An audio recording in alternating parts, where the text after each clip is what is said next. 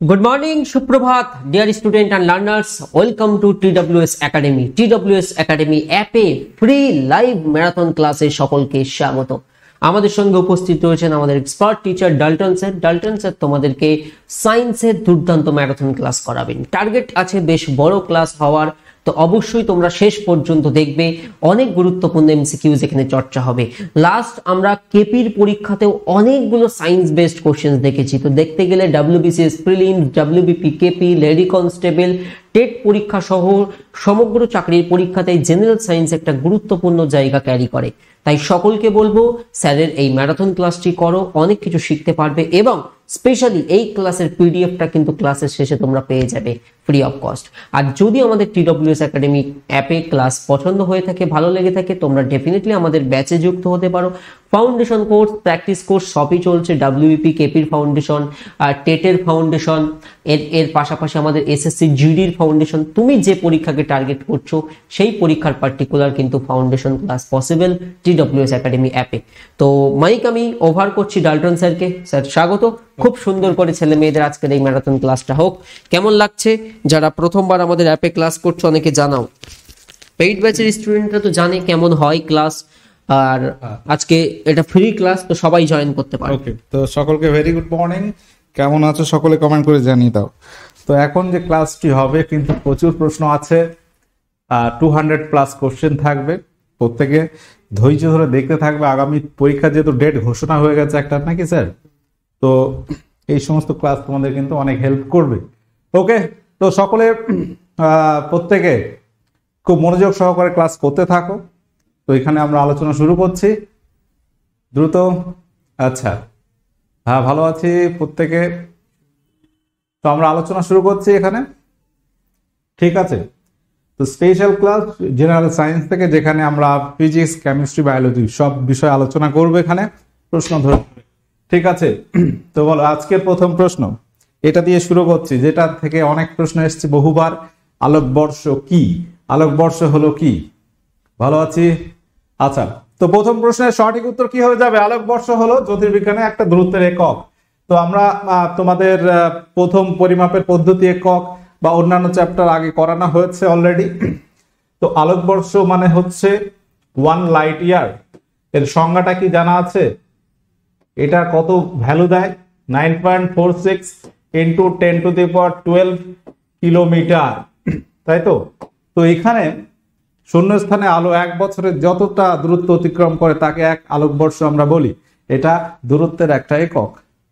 নিচের কোনটি চাপের একক, বলো। খুব সহজ প্রশ্ন এবং তোমাদের সায়েন্স রিলেটেড ওভারঅল একটা আলোচনা হবে যেখানে তোমাদের সমস্ত বিষয় মানে সায়েন্সের সমস্ত চ্যাপ্টার থেকে একটা রিভিশন হয়ে যাবে। চাপের একক কি হবে? Newton per metre square. চাপ এটা কি? চাপ হচ্ছে বল বাই ক্ষেত্রফল। বল বাই ক্ষেত্রফল, তাই তো? তো এখানে বলের একক কি? বলের একক নিউটন। বলের একক হচ্ছে নিউটন। আর ক্ষেত্রফলের একক মিটার স্কোয়ার। তাহলে এটা হয়ে যাবে চাপের একক এবং এটাকেই আমরা বলব পাস্কাল। চাপের এসআই একক কি? চাপের এসআই একক পাস্কাল, তাই তো? তো এটাই হচ্ছে পাস্কাল। এবং যদি সিজিএস একক তোমাকে জানতে যাওয়া হয়, সেক্ষেত্রে কি হবে? তাহলে এটা হয়ে গেল সাই সিজিএস হবে, নিউটনের জায়গায় তুমি লিখবে ডাইন, আর সেন্টিমিটার লিখবে এখানে স্কোয়ার। নিচের কোন রাশির একক ভোল্ট?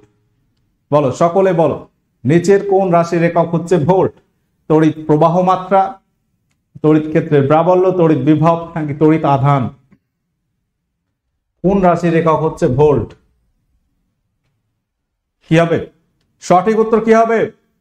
অপশন সি হয়ে যাবে সঠিক উত্তর। তড়িৎ বিভব বিভব প্রভেদের একক হচ্ছে ভোল্ট।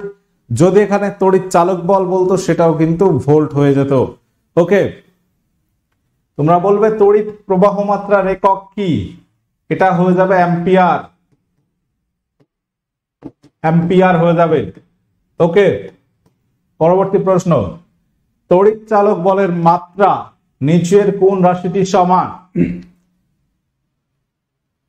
ওকে এখানে সঠিক উত্তর কি হবে? সঠিক উত্তর হয়ে যাবে তড়িৎ বিভবের সমান হবে। কমেন্ট দেখা যাচ্ছে না। যাই হোক, কি হচ্ছে বুঝতে পারছি না। ওকে পরবর্তী প্রশ্ন, কম্পাঙ্কের একক কি? ভেরি ভেরি ইম্পর্টেন্ট কোশ্চেন কম্পাঙ্ক। বলো। পিডিএফটা আমাদের এই অ্যাপে পাওয়া যাবে। সকলে অ্যান্সার করো, কি হবে? কম্পাঙ্কের একক হচ্ছে হার্জ সঠিক উত্তর হার্জ আচ্ছা হার্জ স্পেলিংটা কিন্তু এটাই হবে। ঠিক আছে, ওখানে ভেঙে আছে। সুইজেস পদ্ধতিতে তাপের একক হলো কি? সুইজেস পদ্ধতিতে তাপের একক হলো কি? সঠিক উত্তর কি হবে?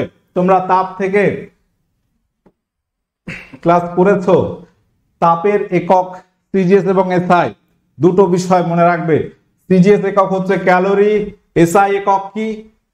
এসআই একক হচ্ছে জুল আচ্ছা তাপ হচ্ছে এক প্রকার কি? এক প্রকার শক্তি। তাপ এক প্রকার শক্তি। এটা কি রাশি? স্কেলার রাশি। ভেক্টর রাশি কিন্তু হবে না। আচ্ছা এটা গেল তাপ। নিচের এর মধ্যে আবার তোমাকে বার করতে হবে কোনটি? স্কেলার রাশি। বলো, কি হবে? আপকামিং সমস্ত পরীক্ষা এই ধরনের প্রশ্ন কিন্তু থাকবে সায়েন্স রিলেটেড নিচের কোনটি স্কেলার রাশি? স্কেলার রাশি হয়ে যাবে ভর। ভর মানে হচ্ছে মাস। মাস মানে হচ্ছে ভর। তো ভরের কোনো দিক বা অভিমুখ কিন্তু নেই। স্কেলার রাশি কাকে বলে? যে সমস্ত রাশির শুধুমাত্র মান রয়েছে বা একটা ভ্যালু আছে।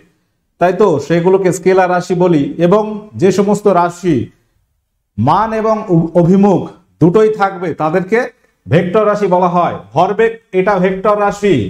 ওজন ওজন এটা কি? পৃথিবীর আকর্ষণ বলটাকেই ওজন বলা হয়।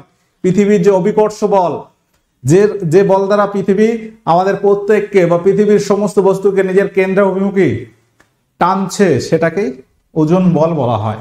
এটা ভেক্টর রাশি, অবশ্যই বল ভেক্টর রাশি। এসআই সিস্টেমে সহযোগী এককের সংখ্যা কটি হবে? তো আমরা যে সমস্ত এককের কথা বলি সিজিএস এমকেএস এফপিএস এসআই পদ্ধতিতে। বিশেষ করে সিজিএস এবং এসআই এটাই কিন্তু এখন প্রচলিত। তো এখানে এসআই সিস্টেমে মূল একক কটি রয়েছে এবং সহযোগী কটি আছে? মূল একক আছে সাতটি এবং তার সঙ্গে দুটি রয়েছে সাপ্লিমেন্টারি বা সহযোগী একক। আচ্ছা বলতে পারবে এই সহযোগী একক দুটি কি কি? সহযোগী একক বললাম, দুটি আছে, এই দুটি কি কি? মনে রাখবে, কোণের একক কোণের একক হচ্ছে রেডিয়ান।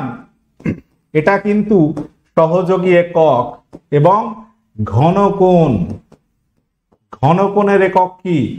ঘনকোণের একক হচ্ছে স্টে রেডিয়ান। আচ্ছা এবার কোণ এবং ঘনকোণের পার্থক্যটা কি? দেখো নর্মালি আমরা যখন একটা ত্রিভুজ আঁকি একটা যখন ত্রিভুজ আঁকি, সেক্ষেত্রে এই যে কোনগুলো পাচ্ছে, এগুলো হচ্ছে রেডিয়ান দিয়ে প্রকাশ করা যায়। পাই রেডিয়ান বলি না? তো এই রেডিয়ান দিয়ে প্রকাশ করছি। কিন্তু যখন একটা এরকম শঙ্কু আঁকছি থ্রি ডাইমেনশনাল স্টেপ যখন আসছে, এই যে ভিতরে অ্যাঙ্গেলটা হচ্ছে, এটাকে আমরা স্টেরেডিয়ান দিয়ে পরিমাপ করি। ঠিক আছে? তাহলে এটা গেল টু ডাইমেনশনাল এবং এটা হচ্ছে থ্রি থ্রি ডাইমেনশনাল আচ্ছা এবার পরবর্তী প্রশ্ন। এর মধ্যে কোনটি ব্যতিক্রম? এটা হচ্ছে সায়েন্স স্পেশাল ক্লাস এবার তোমাকে বলতে হবে সায়েন্স কোথায় কোথায় আসে? সব জায়গায় থাকে সায়েন্সের প্রশ্ন। সেই জন্য এটা সায়েন্সের ক্ষেত্রে তোমাদের হেল্প হবে আগামী সমস্ত পরীক্ষায়। নিম্নলিখিত গুলির মধ্যে কোনটি ব্যতিক্রম? আচ্ছা মিটার, এটা কিসের একক? এটা হচ্ছে দৈর্ঘ্যের একক। মিটার হচ্ছে দৈর্ঘ্যের একক। ফারলং এটা কিসের একক? মাইল, এটাও আমরা জানি, দৈর্ঘ্যের একক। তাহলে এখানে একরটা কি? একর হচ্ছে ক্ষেত্রফলের একক। এটা আলাদা। ফারলং এটাও দৈর্ঘ্যের একক। মাইল, এটাও দৈর্ঘ্যের একক। মনে রাখবে, পাঁচ ফারলং এ পাঁচ ফারলং এ হয় এক কিলোমিটার প্রায়। ঠিক আছে? এটা অ্যাপ্রক্স মানে এক ফারলং মানে দুশো মিটারের একটু আশপাশে আছে। ওকে, তাহলে ফারলংটাও দৈর্ঘ্যের একক এটা শুনে মনে হবে, এটা মনে হয় আলাদা। কিন্তু তুমি যদি ভালো করে চিন্তা করো, একর, এটা কিন্তু ক্ষেত্রফল। আমরা যখন জমি পরিমাপ করি, তখন দেখবে এই সমস্ত কথাগুলো আসে। একর, বিঘা, কাটা, শতক। ওকে, তাহলে এই এক একর মানে কত জানো? এক একর মানে হচ্ছে একশো শতক। ওকে, একশো শতক মানে আবার তোমার তিন বিঘার একটু বেশি। এক বিঘা মানে তেত্রিশ শতক।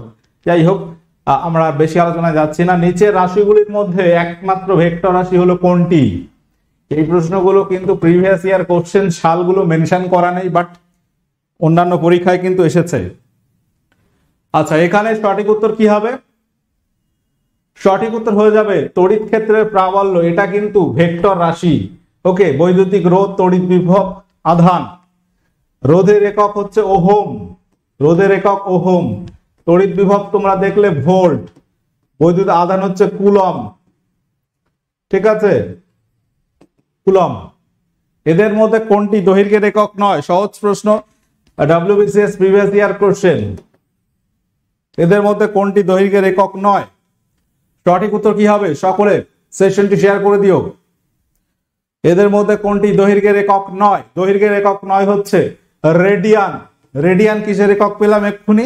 একটু আগে কি আলোচনা হলো? কোণের একক। কোণের একক রেডিয়ান। আচ্ছা আলোকবর্ষ দৈর্ঘ্যের একক মাইক্রন। এটাও কিন্তু দৈর্ঘ্যের একক, এটা খুব ক্ষুদ্র একক। এটা খুব ক্ষুদ্র একক। আমরা যখন জীববিদ্যায় কোষ, কোষের কথা বলি, সেল, এই কোষের আকার বা কোষের ব্যাস পরিমাপ করতে মাইক্রন, এই এককটা কিন্তু আমরা ব্যবহার করি। এই ইউ, এটা কিন্তু অ্যাস্ট্রোনমিক্যাল ইউনিট। ঠিক আছে, গ্রহ নক্ষত্রের গড় দূরত্ব পরিমাপে কিন্তু এই অ্যাস্ট্রোনমিক্যাল ইউনিট এককটি ব্যবহার করা হয়। দূরত্বের সবচেয়ে বড় একক কি? বলো। সবচেয়ে বড় একক কি? দূরত্বের? কি হবে সঠিক উত্তর?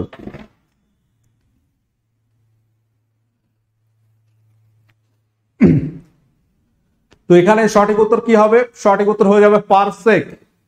পারসেক সব থেকে বড় একক। তাহলে আমরা পেয়েছিলাম যে এক বছরে আলো যতটুকু দূরত্ব অতিক্রম করে শূন্যস্থানে, সেটাকে এক আলোকবর্ষ বলছি।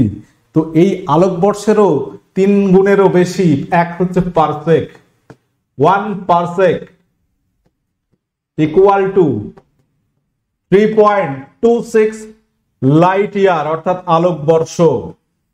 মনে থাকবে? মানে এক পার্সেক মানে তিন আলোকবর্ষেরও বেশি। তার মানে সব থেকে বড় একক হয়ে গেল পার্সেক যদি বলি সব থেকে ছোট একক কোনটি? দূরত্বের সব থেকে ছোট একক কি হবে? তাহলে বড় একক আমরা জানলাম, ছোট একক কি হবে? সব থেকে ছোট একক হয়ে যাবে ফার্মি। ওকে, ফার্মি হচ্ছে দূরত্বের সব থেকে ছোট একক। দূরত্বের ছোট এককের মধ্যে কি কি পাচ্ছি? ফার্মি পাচ্ছি।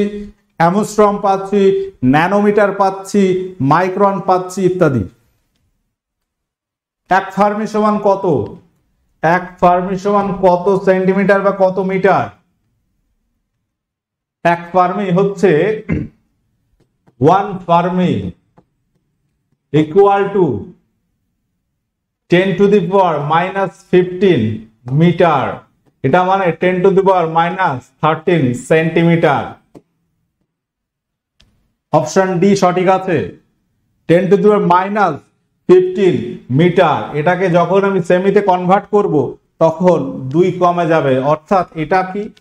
One by ten to the power thirteen এটা হচ্ছে সেমি ওয়ান ফার্মি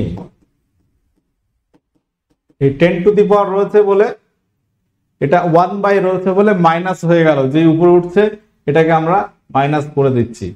ওকে? টিউবওয়েলের হাতল কোন ধরনের লিভার? টিউবওয়েলের হাতল, এটি কোন ধরনের লিভার? সঠিক উত্তর কি হবে? সকলে বলো। টিউবওয়েলের হাতল, এটা হচ্ছে কোন ধরনের লিভার হবে?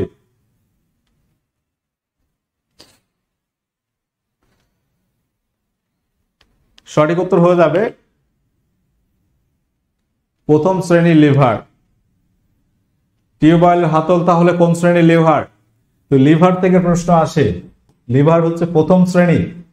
প্রথম শ্রেণির লিভারে আলম্ববিন্দুর অবস্থান কোথায় থাকে? বলো, কি হবে এখানে? সঠিক উত্তর। প্রথম শ্রেণির লিভারে বলতে হবে যে আলম্বটা কোথায় থাকে? লিভারটা আমরা কীভাবে মেনশন করি? একটা দণ্ড, তিনটে জিনিস মাথায় রাখতে হবে। একটা হচ্ছে আলম্ব, একটা বলবাহু, ভরবাহু। বা ভারবাহু আলম্ব যদি মাঝখানে থাকে, আলম্ব যদি মাঝখানে থাকে, সেটা হয়ে যাবে প্রথম শ্রেণির লিভার। আলম্ব যদি মাঝখানে থাকে, আর একদিকে থাকবে বলবাহু একদিকে থাকবে ভারবাহু যেখানে কাজ হবে। তো প্রথম শ্রেণির লিভারের এক্সাম্পল যদি দেখো, নলকূপের হাতল, ঢেকি বেলচা পেরেক তোলার যন্ত্র, ভারী বস্তু তোলা শাবল, তুলাদণ্ড, এগুলো হচ্ছে প্রথম শ্রেণির লিভারের এক্সাম্পল দ্বিতীয় শ্রেণির লিভার, ভার, এটা দণ্ডের কোথায় থাকে? তো দ্বিতীয় শ্রেণির লিভার, এখানে যদি আমরা কথা বলি, এটা একটা দণ্ড কল্পনা করি, মাঝখানে থাকবে ভার। মাঝখানে হবে কাজ, এক প্রান্তে থাকবে আলম্ব আর এক প্রান্তে হচ্ছে বলবাহু, যেখানে বলটা প্রয়োগ করা হবে। তাহলে অপশন সি সঠিক আছে, মাঝখানে। ওকে এটা গেল দ্বিতীয় শ্রেণির লিভার। দ্বিতীয় শ্রেণির লিভারের এক্সাম্পল কি আছে? বলো। একটা এক্সাম্পল দাও, তাহলে বিষয়টা বুঝতে পারবে। তুমি সেই জাতির কথা চিন্তা করো। অনেকবার বোঝানো হয়েছিল। এরকম একটা জাতি, যেখানে সুপারি কাটা হয়। তো এইরকম একটা শেপ থাকে, দুটো হাতল থাকে এখানে। তাই তো? এখানে একটা আলম্ব থাকে, যার সাপেক্ষে এটা ঘুরতে পারে। তো এক প্রান্তে আলম্ব হলো, মাঝখানে সুপারি কাটবে এবং এখানে বল প্রয়োগ করবে। ওকে তো জাতি, নৌকার দাঁড়, আবর্জনা ফেলা, ঠেলা গাড়ি, ছিপি তোলার যন্ত্র, ছাপার যন্ত্র ইত্যাদি, এগুলো হচ্ছে দ্বিতীয় শ্রেণির লিভার। মানুষের হাত, এটি কোন শ্রেণির লিভার? মানুষের হাত এটি কোন শ্রেণির লিভার? প্রত্যেকে বলো। তৃতীয়, দ্বিতীয়, প্রথম নাকি কোনোটি নয়? অর্থাৎ হাত বলতে আমাদের এই কনুয়ের সামনের অংশটা বোঝানো হচ্ছে। এই হচ্ছে আলম্ব। ঘুরতে পারছে? হাত দিয়ে কিছু কাজ করছে হাত দিয়ে, হাতের প্রান্ত দিয়ে। এটা দিয়ে কাজ হচ্ছে এবং বলটা এখানে প্রয়োগ হচ্ছে বলা হচ্ছে। তো এটা তৃতীয় শ্রেণির লিভার হয়ে যাবে। তৃতীয় শ্রেণির লিভারে বলবাহুটা মাঝখানে থাকে। বলবাহু এটা বলা হচ্ছে, এক প্রান্তে থাকবে আলম্ব। তাহলে তিনটে বিষয়, এদের অবস্থান ভিত্তিতে তিন ধরনের লিভার আমরা পাচ্ছি, প্রথম, দ্বিতীয়, তৃতীয়। তাহলে এক প্রান্তে আলম্ব, এক প্রান্তে ভারবাহু। ওকে, এটা গেল প্রথম, দ্বিতীয়, তৃতীয় শ্রেণির লিভারের তোমার কনসেপ্ট এবং এক্সাম্পল যদি দেখো, মানুষের কোনো সামনের অংশ, চিমটা ক্রেন মুখের চল পাউরুটি কাটার সময় যে ছুরি ব্যবহার করি ওটা মাছ ধরার ছিপ, এগুলো তৃতীয় শ্রেণির লিভারের উদাহরণ। ঠিক আছে, এটা কি? তৃতীয় শ্রেণির লিভার। তো এখানে আরেকটা বিষয় মনে রাখবে, যান্ত্রিক সুবিধা। আমি একটু ব্যাকে যাচ্ছি। প্রথম শ্রেণির লিভারের কথা যদি দেখি, এই আলম্ব বিন্দু যদি চেঞ্জ হয় আলম্ব বিন্দু যদি এদিকে সরে আসে, তাহলে ভার বাহুটা বড় হবে, বল বাহুটা ছোট হবে। ঠিক আছে, তো এই যে পজিশন যদি চেঞ্জ হয় আলম্বের সেক্ষেত্রে যান্ত্রিক সুবিধা চেঞ্জ হয়। অর্থাৎ এখানে যদি বলি যান্ত্রিক সুবিধা কত হয়? আচ্ছা এটা আলাদা করে দেখাই আমি, তাহলে ভালো লাগবে। যান্ত্রিক সুবিধা প্রথম শ্রেণির লিভারের কত হবে? যান্ত্রিক সুবিধার কথা যদি আমি বলি প্রথম শ্রেণির লিভার ফার্স্ট একের বেশি হতে পারে। আমরা বললাম আলম্বর পজিশন অনুযায়ী চেঞ্জ হবে। একের বেশি, কম বা সমান হতে পারে। যদি দ্বিতীয় শ্রেণির লিভারের কথা বলি আলম্ব সবসময় এক প্রান্তে থাকে। আলম্ব এক প্রান্তে থাকে। এটা নড়াচড়া করবে না এবং এখানে বলবাহুটা বড় হয় আহ, ভারবাহু থেকে সেক্ষেত্রে একের বেশি হয়। একের বেশি হবে যান্ত্রিক সুবিধা এবং তৃতীয় শ্রেণির লিভার যদি বলি এখানে সর্বদা একের কম হয় যান্ত্রিক সুবিধা। ঠিক আছে? তো এই জায়গাটা একটু ভালো করে খেয়াল করো। এই এই জায়গা থেকে কিন্তু কোশ্চেন আসে। ওকে পরবর্তী প্রশ্নের দিকে আমরা যাব। আচ্ছা। ওয়ান হর্স পাওয়ার সমান কত ওয়াট এক হর্স পাওয়ার মানে কত ওয়াট এটা পরীক্ষা আসে হর্স পাওয়ার মানে অশ্ব ক্ষমতা।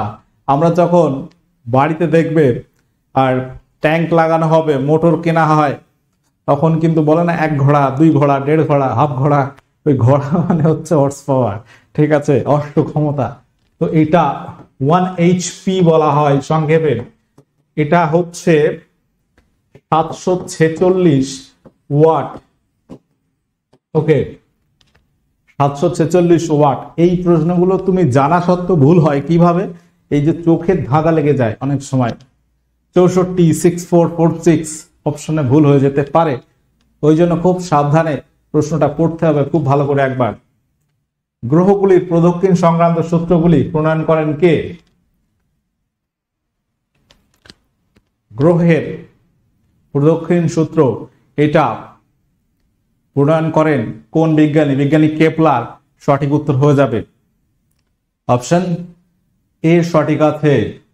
একটি বোমা বিস্ফোরিত হয়ে চারটি টুকরো ভেঙে গেলে নিচের কোন রাশিটি সংরক্ষিত থাকবে? নিচের কোন রাশি সংরক্ষিত থাকবে? তো একটা বোমা যদি বিস্ফোরিত হয়ে চারটি টুকরো ভেঙে যায়, সেখানে বলা হচ্ছে ভরবেগটা সংরক্ষিত থাকে। টোটাল একটি লরি, একটি ছোট গাড়ি একই গতিবেগে চলছে। ওদের থামানোর জন্য একই প্রকার বল প্রয়োগ করা হলো। কোনটি কম দূরত্বের মধ্যে থামবে? তাহলে দুটো গাড়ির কথা বলা হচ্ছে, একটা লরি, একটা ছোট গাড়ি। লরিটা বেশি ভারী তো নাকি? ভর বেশি লরির, ছোট গাড়ির ভর কম। একই বল প্রয়োগ করতে গেলে তুমি একই রকম বল প্রয়োগ করতে থামাতে চাইছো, তাহলে কোনটি কম দূরত্বের মধ্যে থামবে? অবশ্যই ছোট গাড়ি হবে, তাই তো? কারণ কি ছোট গাড়ির ভরবেগটা কম? সাঁতার কাটা কোন নীতির উপর প্রতিষ্ঠিত হয়? তো নিউটনের তিনটি গতিসূত্র আছে এবং পাশাপাশি মহাকর্ষ সূত্র রয়েছে। মহাকর্ষ সূত্র হচ্ছে নিউটনের কিন্তু একটা সূত্র আলাদা, মহাকর্ষ সূত্র। সেটা নিয়ে আসব। সাঁতার কাটা, এটা হচ্ছে নিউটনের তৃতীয় গতিসূত্র।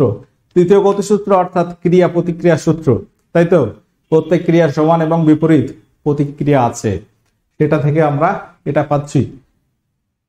কোন অশ্বারোহী পিছন দিকে হেলে পড়েন, যখন অশ্ব দৌড়াতে আরম্ভ করে, এর কারণ হলো কি? এর কারণ কি? স্থিতিজাড্য গতিজাড্য অভিকর্ষজ বল নাকি কোনোটি নয়? বলো, কি হবে এখানে সঠিক উত্তর? কোন অশ্বারোহী পিছন দিকে হেলে পড়েন। যদি অশ্ব দৌড়াতে আরম্ভ করে হঠাৎ দাঁড়িয়ে ছিল, যখন মানে অশ্বটা দৌড়াচ্ছে, তখন পিছিয়ে গেল। এটাকে স্থিতিজাড্য বলা হবে অপশন এ আচ্ছা যখন স্থির ছিল স্থিতিজাড্য বাংলা কথা এটা মনে রাখবে? তুমি বাসে বসে আছো বা বাসে দাঁড়িয়ে রয়েছো। বাসটা দাঁড়িয়ে ছিল। তুমি উঠছো, তারপরে বা তুমি খানিক সময় দাঁড়িয়ে আছো, তারপর ছাড়ছে। হঠাৎ করে তুমি পিছিয়ে যাবে। কারণ কি? তোমার পায়ের সঙ্গে বাসের মেঝের সম্পর্ক রয়েছে, সেটা স্থির ছিল, স্থির থাকতে চাইছিল। কিন্তু হঠাৎ বাস গতিশীল হওয়ায় তুমি কিন্তু তোমার উপরের পাট এখনও গতিশীল হয়নি। সেটা গতি মানে তোমার স্থির থাকতে চায় এখন। ওই জন্য এটাকে স্থিতিজাড্য বলব। আর উল্টোটা ঠিক তাই, যখন গাড়ি চলছে, হঠাৎ ব্রেক করলে সামনের দিকে ঝুঁকে পড়ে মানুষ। এটা হচ্ছে গতিজাড্যের উদাহরণ। নিউটনের কোন গতিসূত্রটি রকেটের গতি ব্যাখ্যা করে? এই ক্লাসের পিডিএফ পাওয়া যাবে? এই অ্যাপে পাওয়া যাবে, চিন্তার কারণ নেই। নিউটনের কোন গতিসূত্রটি? বলতে হবে, রকেটের গতি ব্যাখ্যা করে অপশন সি, তৃতীয় গতিসূত্র। প্রশ্নগুলো কিন্তু খুব দারুণ প্রশ্ন। আচ্ছা এবার একটু বলে দিই। প্রথম গতিসূত্র থেকে আমরা কি কি পাচ্ছি? কি কি পাচ্ছি? এক নাম্বার মনে রাখবে, প্রথম গতিসূত্র থেকে বলের সংজ্ঞা পাচ্ছি। বলের সংজ্ঞা। বলের সংজ্ঞা পাচ্ছি। দুই নাম্বার হচ্ছে জাড্য ধর্ম পাচ্ছি জাড্য ধর্ম। জাড্য ধর্ম এবং বলের সংজ্ঞা পাচ্ছি। দ্বিতীয় গতিসূত্র থেকে ভরবেগের ধারণা পাচ্ছি। ভরবেগের ধারণা। এক নাম্বার, দুই নাম্বার হচ্ছে বলের মান ও একক। মান ও একক। তিন নাম্বার হচ্ছে বলের ঘাত। ঘাত ও ঘাত বল। এই জায়গাটা একটু বাস মনে রাখো। প্রথম গতিসূত্র থেকে কি পেলাম? বলের সংজ্ঞা পাচ্ছি। দ্বিতীয় গতিসূত্র থেকে বলের মান ও একক পাচ্ছি। এইটা খুব সিরিয়াস একটা জায়গা। ভুল হয়। এবং ভরবেগের ধারণা, বলের ঘাত ঘাত বল। তৃতীয় গতিসূত্র থেকে কি পাচ্ছি? এখানে পাচ্ছি ভরবেগের সংরক্ষণ সূত্র। এবং ক্রিয়া প্রতিক্রিয়া সূত্র বা ওই এক কথায় ভরবেগের সংরক্ষণ সূত্র পাচ্ছি ওকে, তাহলে তিনটি গতিসূত্র থেকে কি কি পাওয়া যাচ্ছে আমি কিন্তু আলাদা করে বলে দিলাম। মনে রাখবে। ওকে, সুষম বৃত্তাকার পথে কোনো বস্তু পরিভ্রমণ করলে নিচের কোন রাশিতে একই থাকে, কি হবে বলো? সুষম বৃত্তাকার পথে। হ্যাঁ সবাই সবার পয়েন্ট দেখতে পাচ্ছে, এটা মনে হচ্ছে অন আছে, অসুবিধা নেই। তাহলে এখানে বলতে হবে যে কোন কোনো বস্তু যদি বৃত্তাকার পথে পরিভ্রমণ করে, ঘটনাটা কি ঘটে? প্রত্যেকটা মুহূর্তে প্রত্যেকটা মুহূর্তে ডিরেকশন পাল্টে যায়, বৃত্তাকার পথে এটা হচ্ছে ঘটনা, স্পর্শক বরাবর হয়ে যায় ডিরেকশন তাহলে এখানে ভেলোসিটি চেঞ্জ হবে। ত্বরণ ভরবেগ চেঞ্জ হবে। ওকে তাহলে এখানে দ্রুতি, দ্রুতির ইংরেজি মনে রাখবে স্পিড এটা কিন্তু স্কেলার রাশি। এটা কি স্কেলার রাশি? ওই জন্য এটা একই থাকে। কিন্তু বেগ, এটা ভেক্টর রাশি, ত্বরণ ভেক্টর রাশি, ভরবেগ ভেক্টর রাশি হওয়ায় এদের অভিমুখ। মান একই থাকতে পারে বাট অভিমুখ, সেটা পাল্টাবে। ওই জন্য রাশিটাও পাল্টে যাবে। নিচের কোনটি স্কেলার রাশি বলো? একটু, এক্ষুনি বললাম। নিচের কোনটি স্কেলার রাশি? সঠিক উত্তর কি হবে? স্কেলার রাশি এখানে কোনটি হবে? সঠিক উত্তর হয়ে যাবে দ্রুতি, স্পিড। এটা কিন্তু স্কেলার রাশি। বলার পরে ভুল হচ্ছে না। ওকে, ঠিক আছে। সহজে দরজা খুলতে চাইলে দরজা কোথায় বল প্রয়োগ করা উচিত? কি হবে? এটা হবে কবজার বিপরীত প্রান্তে অপশন বি। কোন বস্তুর ওজন সর্বাধিক হবে কোথায়? কোন বস্তুর ওজন সর্বাধিক হয় কোথায়? কি হবে প্রত্যেকে বলো? ওজন সর্বাধিক হবে কোন অবস্থায়? চন্দ্রপৃষ্ঠে, মহাশূন্যে, পৃথিবীপৃষ্ঠে নাকি খনির অভ্যন্তরে? দেখো, ওজন এটা যদি আমরা বলি, ওজনটা একটা ভেক্টর রাশি, ওকে? ওজন মানে হচ্ছে ভর কিন্তু অভিকর্ষজ ত্বরণ। অভিকর্ষজ ত্বরণ, অর্থাৎ ওজন মানে হচ্ছে ওয়েট তাই তো? এখান থেকে ডাব্লিউ ইকুয়াল টু আমরা পাচ্ছি এম ইন্টু আচ্ছা এটা আর একবার লিখি। W equal to M into G এই জিটা চেঞ্জ হয়, তাই তো? ওই জন্য ওজনটা চেঞ্জ হতে পারে। ভর সেটা সবসময় একই থাকবে চেঞ্জ হবে না। কিন্তু অভিকর্ষজ ত্বরণ, এটা কিন্তু স্থান ভেদে চেঞ্জ হবে। চন্দ্রপৃষ্ঠে যেমন হয় একের ছয় ভাগ, মহাশূন্য হবে জি শূন্য, এখানে জি হচ্ছে ওয়ান সিক্স জি ড্যাশ মানে হচ্ছে ওয়ান সিক্স অফ জি, এখানে জি ইকুয়াল টু জিরো এখানে জিটা কম হবে, কত হবে সেটা বলা যাবে না। পৃথিবী পৃষ্ঠে সব থেকে বেশি অভিকর্ষজ ত্বরণ হয় এবং এই ত্বরণের মানটা মনে রাখবে। এখানে জি হচ্ছে nine point eight one metre per second square. এটা জি এর ভ্যালু। যদি বলা হয় পৃথিবীর কেন্দ্রে কোনো বস্তুর ওজন কত হবে, শূন্য হবে, কারণ ওখানে জিটা শূন্য হয়। একটি বস্তু আর ব্যাসার্ধের বৃত্ত পরিক্রমণ করলে ওর মোট স্মরণ কত হবে? আচ্ছা এই স্মরণ, এটা কি রাশি আগে বলো? স্মরণ এটা স্কেলার নাকি ভেক্টর? স্মরণ হচ্ছে স্কেলার রাশি নাকি ভেক্টর রাশি? এটা হবে অবশ্যই ভেক্টর রাশি। এটা শূন্য হবে স্মরণ মানে কি? প্রাথমিক অবস্থান প্রাথমিক অবস্থান এবং অন্তিম অবস্থান। অন্তিম অবস্থানের মধ্যে পরলৈকিক দূরত্ব। এদের মধ্যে ধরো, এখানে ধরো, এখান থেকে ঘুরে ঘুরে এইভাবে এই পয়েন্টটা আসলে এটা বলছে বি কিন্তু স্মরণ হবে এ থেকে বি ঠিক আছে? সরলরৈখিক দূরত্ব। কোন গতিশীল বস্তুর নির্দিষ্ট দিকে দূরত্ব অতিক্রম করার হারকে কি বলা হয়? কোন গতিশীল বস্তুর নির্দিষ্ট দিকে। দিকটা যদি একটা মেনশন করো, সেটাকে আমরা বেগ বলব, ঠিক আছে? শূন্য মাধ্যমে শব্দের গতিবেগ কত? শূন্য মাধ্যমে শব্দের গতিবেগ কত? এটা কিন্তু দ্রুতি না, দ্রুতি কোনো দিক লাগবে না। শূন্য মাধ্যমে শব্দের গতিবেগ কত হবে? সাউন্ডে চলে এসেছি, শব্দ। আচ্ছা এখানে শব্দ হবে, শূন্য হবে। মাধ্যম যদি না থাকে, তাহলে শব্দ যেতে পারে না। আমরা জানি শব্দ একটা যেতে গেলে জড় মাধ্যমের প্রয়োজন, ওই জন্য শব্দকে বলা হচ্ছে কি তরঙ্গ? শব্দ হলো এক প্রকার স্থিতিস্থাপক তরঙ্গ। কারণ কি?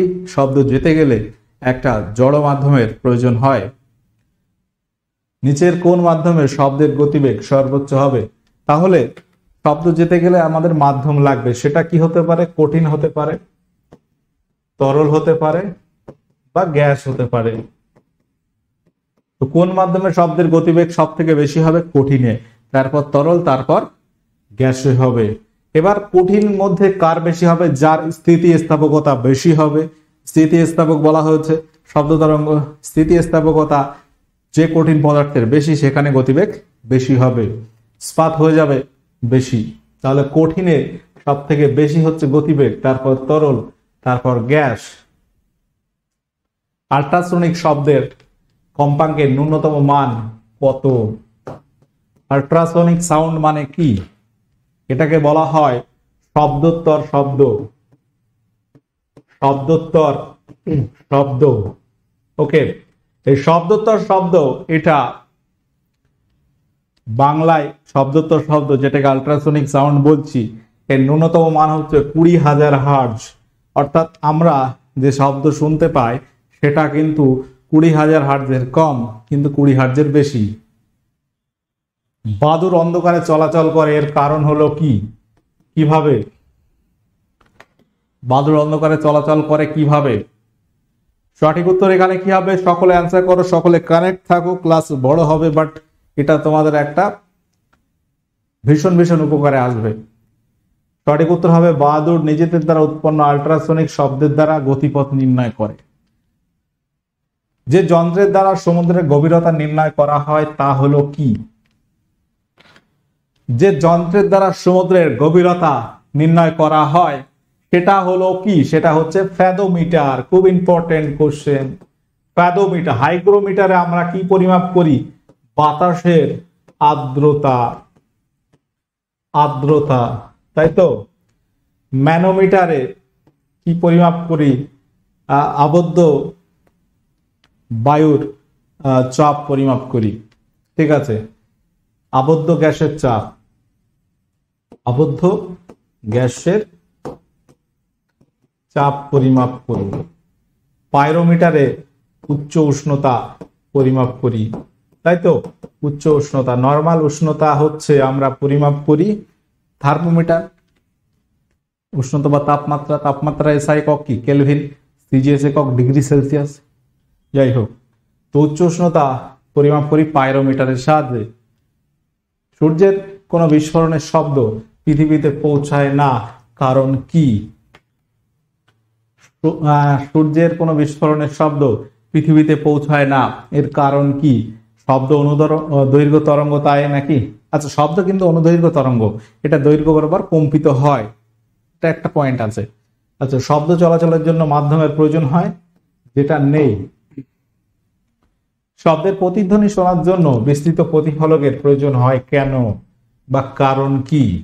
শব্দের প্রতিধ্বনি শোনার জন্য শব্দের প্রতিধ্বনি শোনার জন্য বিস্তৃত প্রতিফলক লাগে। কারণ হচ্ছে শব্দ তরঙ্গ শব্দের তরঙ্গ দৈর্ঘ্য খুব বেশি হয়। শব্দের তরঙ্গ দৈর্ঘ্যটা অনেকটা বেশি হয়, লম্বা হয় অনেক। ঠিক আছে? তো প্রতিধ্বনি শোনার জন্য ন্যূনতম ডিস্টেন্সটা কত হয়? ন্যূনতম ডিস্টেন্স মনে রাখবে যদি শব্দের গতিবেগ তিনশো চল্লিশ ধরি আমরা পার মিটার পার সেকেন্ড তাহলে হবে সতেরো। তবে সতেরো মিটার হয় ন্যূনতম। আর যদি তিনশো বত্রিশ ধরি, তিনশো বত্রিশ হচ্ছে zero degree centigrade zero degree centigrade টেম্পারেচারে তিনশো বত্রিশ মিটার পার সেকেন্ড তাহলে এটা ষোলো দশমিক ছয় মিটার হবে ন্যূনতম ডিস্টেন্স প্রতিফলকের শব্দ যাবে, ফিরে আসবে টোটাল তিনশো তেত্রিশ পয়েন্ট দুই লাগবে। কিন্তু যেহেতু শব্দ নিবন্ধ একের দশ সেকেন্ড, দশ দিয়ে ভাগ করলে এবং তারপর দুই দিয়ে ভাগ করলে এটা আমরা পাবো। গান শুনে কোনো গায়ককে চেনা যায় কোন ধর্মের জন্য? পিডিএফ পাওয়া যাবে নিশ্চয়ই। গান শুনে কোনো গায়ককে চেনা যায় কিসের জন্য? বলো, খুব ইম্পর্টেন্ট কোশ্চেন সকলে কানেক্ট থাকো, চলে গেলে হবে না। শব্দর গুণ বা জাতি তো আমরা সুরযুক্ত শব্দ সুর বর্জিত শব্দের কথা জানি। সুরযুক্ত শব্দের তিন ধরনের বৈশিষ্ট্য রয়েছে। একটা হচ্ছে শব্দের প্রাবল্য, একটা হচ্ছে তীক্ষ্ণতা, তিন নম্বর হচ্ছে গুণ বা জাতি।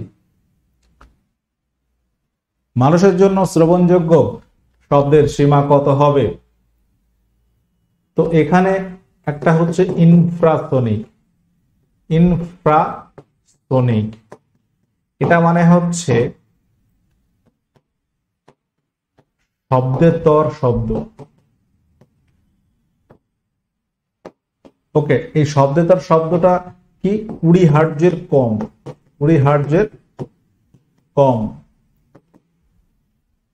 তো কুড়ি হার্জের কম হলে আমরা শুনতে পাবো না, কুড়ি থেকে কুড়ি হাজার হার্জ। এই কম্পাঙ্কের শব্দগুলো আমরা শুনতে পাই। একটা ব্যতিক্রম রয়েছে, আমরা বলেছি যে যারা পাঁচ বছরের কম বয়স্ক বাচ্চা তারা পঁচিশ হাজার হার্জ পর্যন্ত কম্পাঙ্কের শব্দ শুনতে পায়।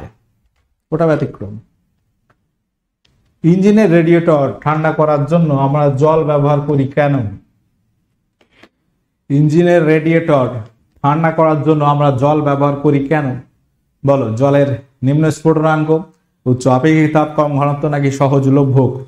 কি হবে?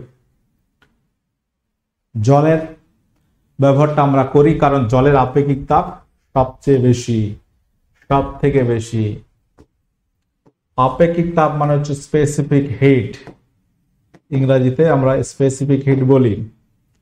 জলের আপেক্ষিক তাপ সব থেকে বেশি ওই কারণে সেক দেওয়ার বোতলে গরম জল ব্যবহার করা হয় বা উল্টোটা, ইঞ্জিনের রেডিয়েটর ঠান্ডা রাখার জন্য ঠান্ডা জল ব্যবহার করি। কারণ কি যখন ঠান্ডা থাকে, ঠান্ডাটা ধরে রাখে, যখন গরম থাকে, গরমটাকে ধরে রাখতে পারে। মানব দেহের সাধারণ তাপমাত্রা সেলসিয়াস স্কেলে কত? মানব দেহের সাধারণ টেম্পারেচার কত হবে? সাঁত্রিশ ডিগ্রি সেন্টিগ্রেড।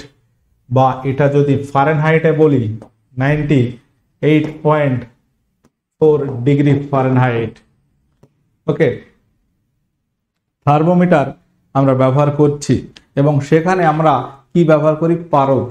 আমরা ডাক্তারি থার্মোমিটার যেটা আমি নর্মালি ফারেনহাইটটা বলি ফারেনহাইট থার্মোমিটার এবং সেখানে আমরা পারদের ব্যবহার করি। এর কারণ কি? পারদের গলনাঙ্ক খুব বেশি, পারদের আয়তন প্রসারণ সহজে লক্ষ্য করা যায়। নাকি এখানে অপশন বি হবে। তো পারদ তাপের খুব সুপরিবাহী। এটা একটা কারণ, পারদ পিচ্ছিল হয়, এটাও আর একটা কারণ। পাদের পারতের আয়তন প্রসারণ সহজেই লক্ষ্য করা যায়। চাপ প্রয়োগে বরফ গলানো এবং চাপ কমিয়ে পুনরায় বরফ পরিণত করার পদ্ধতিকে কি বলা হয়, এটা এসেছিল তোমার লেডি কনস্টেবলে প্রশ্নটা। করানো হয়েছিল তখনও। আচ্ছা এবার চাপ প্রয়োগে বরফ গলানো এবং এটাকে কমিয়ে পুনরায় বরফে পরিণত করার ঘটনাকে বলা হয় পুনঃশীলী ভবন। এই পরীক্ষা করেছিলেন বিজ্ঞানী বটমলি। বিজ্ঞানী বটমলির নাম অনুসারে বটমলি পুনঃশীলী ভবন বলা হয়। অপশন সি সঠিক আছে। প্রেসার কুকারে অভ্যন্তরস্থ চাপ কত হয়? কত হয়? বলো। প্রেসার কুকারের অভ্যন্তরস্থ চাপ কত হয়? সঠিক উত্তর বায়ুমণ্ডলীয় চাপের দ্বিগুণ হবে। অপশন বি হয়ে যাবে। সঠিক উত্তর। বায়ুমণ্ডলীয় চাপ কত? বায়ুমণ্ডলীয় চাপ হচ্ছে প্রমাণ বায়ুমণ্ডলীয় চাপ। মনে রাখবে, ছিয়াত্তর সেন্টিমিটার। পারদ স্তম্ভের চাপ। আমরা পারদ স্তম্ভে ব্যারোমিটার যেটা ব্যবহার করি, সেখানেও পারদ ব্যবহার করি। ঠিক আছে? ছিয়াত্তর সেমি পারদ স্তম্ভের চাপ। বরফ গলনের লিনতাপ কত? বরফ গলনের লিনতাপ কত? প্রত্যেকে বলো, বরফ গলনের লিনতাপ কত হয়? সঠিক উত্তর হবে আশি ক্যালোরি পার গ্রাম। এটা মনে রাখতে হবে, বরফ গলে জল হয়ে যাবে, তাই তো? আবার জল জমে বরফ হওয়া লিনতাপ একই, আশি ক্যালোরি পার গ্রাম। যদি বলো যে জল ফুটে বাষ্প হবে বাষ্পীভবনের লিনতাপ কত? পাঁচশো সাঁত্রিশ kilo calorie calorie per gram আর কি। কোন তাপমাত্রায় ফারেনহাইট স্কেলের পার্ট সেলসিয়াস পার্টের সমান হবে? কোন তাপমাত্রায় এটা সমান হয়? এটা সমান হবে মাইনাস চল্লিশ ডিগ্রিতে। অর্থাৎ সূত্রটা কি C by five equal to F minus thirty two by nine এটা হচ্ছে সেলসিয়াসের সঙ্গে ফারেনহাইটের সম্পর্ক। ঠিক আছে? এখান থেকে আমরা মাইনাস চল্লিশ ডিগ্রি সেলসিয়াস বলতে পারি, মাইনাস চল্লিশ ডিগ্রি সেলসিয়াস, মাইনাস চল্লিশ ডিগ্রি ফারেনহাইট নিচের কোনটি তাপমাত্রা মাপার যন্ত্র নয়? এই নয়গুলো খেয়াল করতে হবে খুব ভালো করে। নিচের কোনটি? তাপমাত্রা মাপার। কোশ্চেন প্রায় দুশোটা কোশ্চেন রয়েছে, দুশোর বেশি আছে। টু হান্ড্রেড সবে তো ফর্টি এইট ওকে তো এটা হয়ে যাবে ক্যালোরিমিটার এটা আমরা তাপ পরিমাপ করি, তাপ।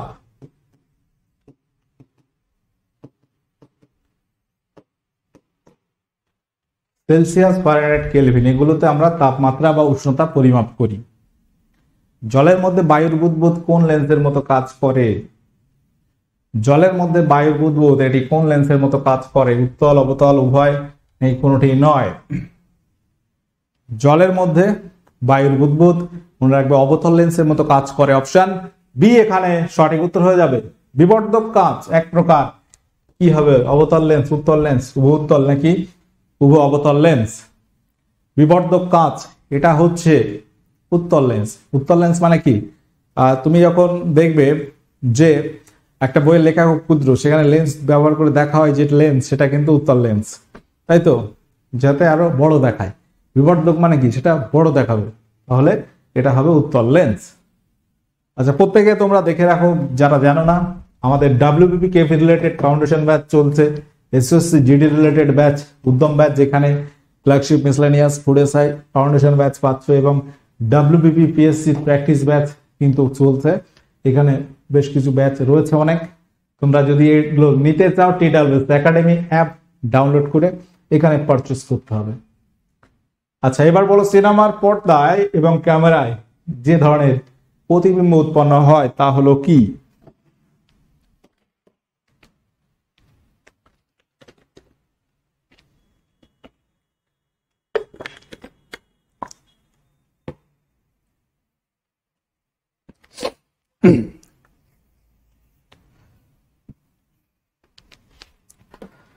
সঠিক উত্তর কি হয়ে যাবে? সঠিক উত্তর হয়ে যাবে এখানে সৎবিম্ব। সৎবিম্ব যেটা পর্দায় ফেলা যায়। অপটিক্যাল ফাইবারের কার্যনীতিটা কি? অপটিক্যাল ফাইবারের কার্যনীতি হলো কি? এটা আলোর পূর্ণ প্রতিফলনের কথা বলে। তো আলোর প্রতিফলন, প্রতিসরণ এই বিষয়গুলো থেকে প্রশ্ন আসে। প্রতিফলন এবং প্রতিসরণ কিন্তু আলাদা, দুটো বিষয় কিন্তু আলাদা এবং আভ্যন্তরীণ পূর্ণ প্রতিফলন সেটাও কিন্তু আলাদা। সিনেমার হলের পর্দা সাদা এবং অমসৃণ হয় কারণ কি? এটা সম্পূর্ণ প্রতিফলিত করতে চায়। তাই তো? সাদা হলে কি? সেই সাদা রং কোনো রং শোষণ করে না এবং অমসৃণ হলে চারিদিকে বিক্ষিপ্ত প্রতিফলন হবে। তো একটা বিষয় মনে রাখবে যে নিয়মিত প্রতিফলনের ক্ষেত্রেই, নিয়মিত প্রতিফলনের ক্ষেত্রেই কিন্তু প্রতিবিম্বটাই গঠিত হয়। বিক্ষিপ্ত প্রতিফলনে না।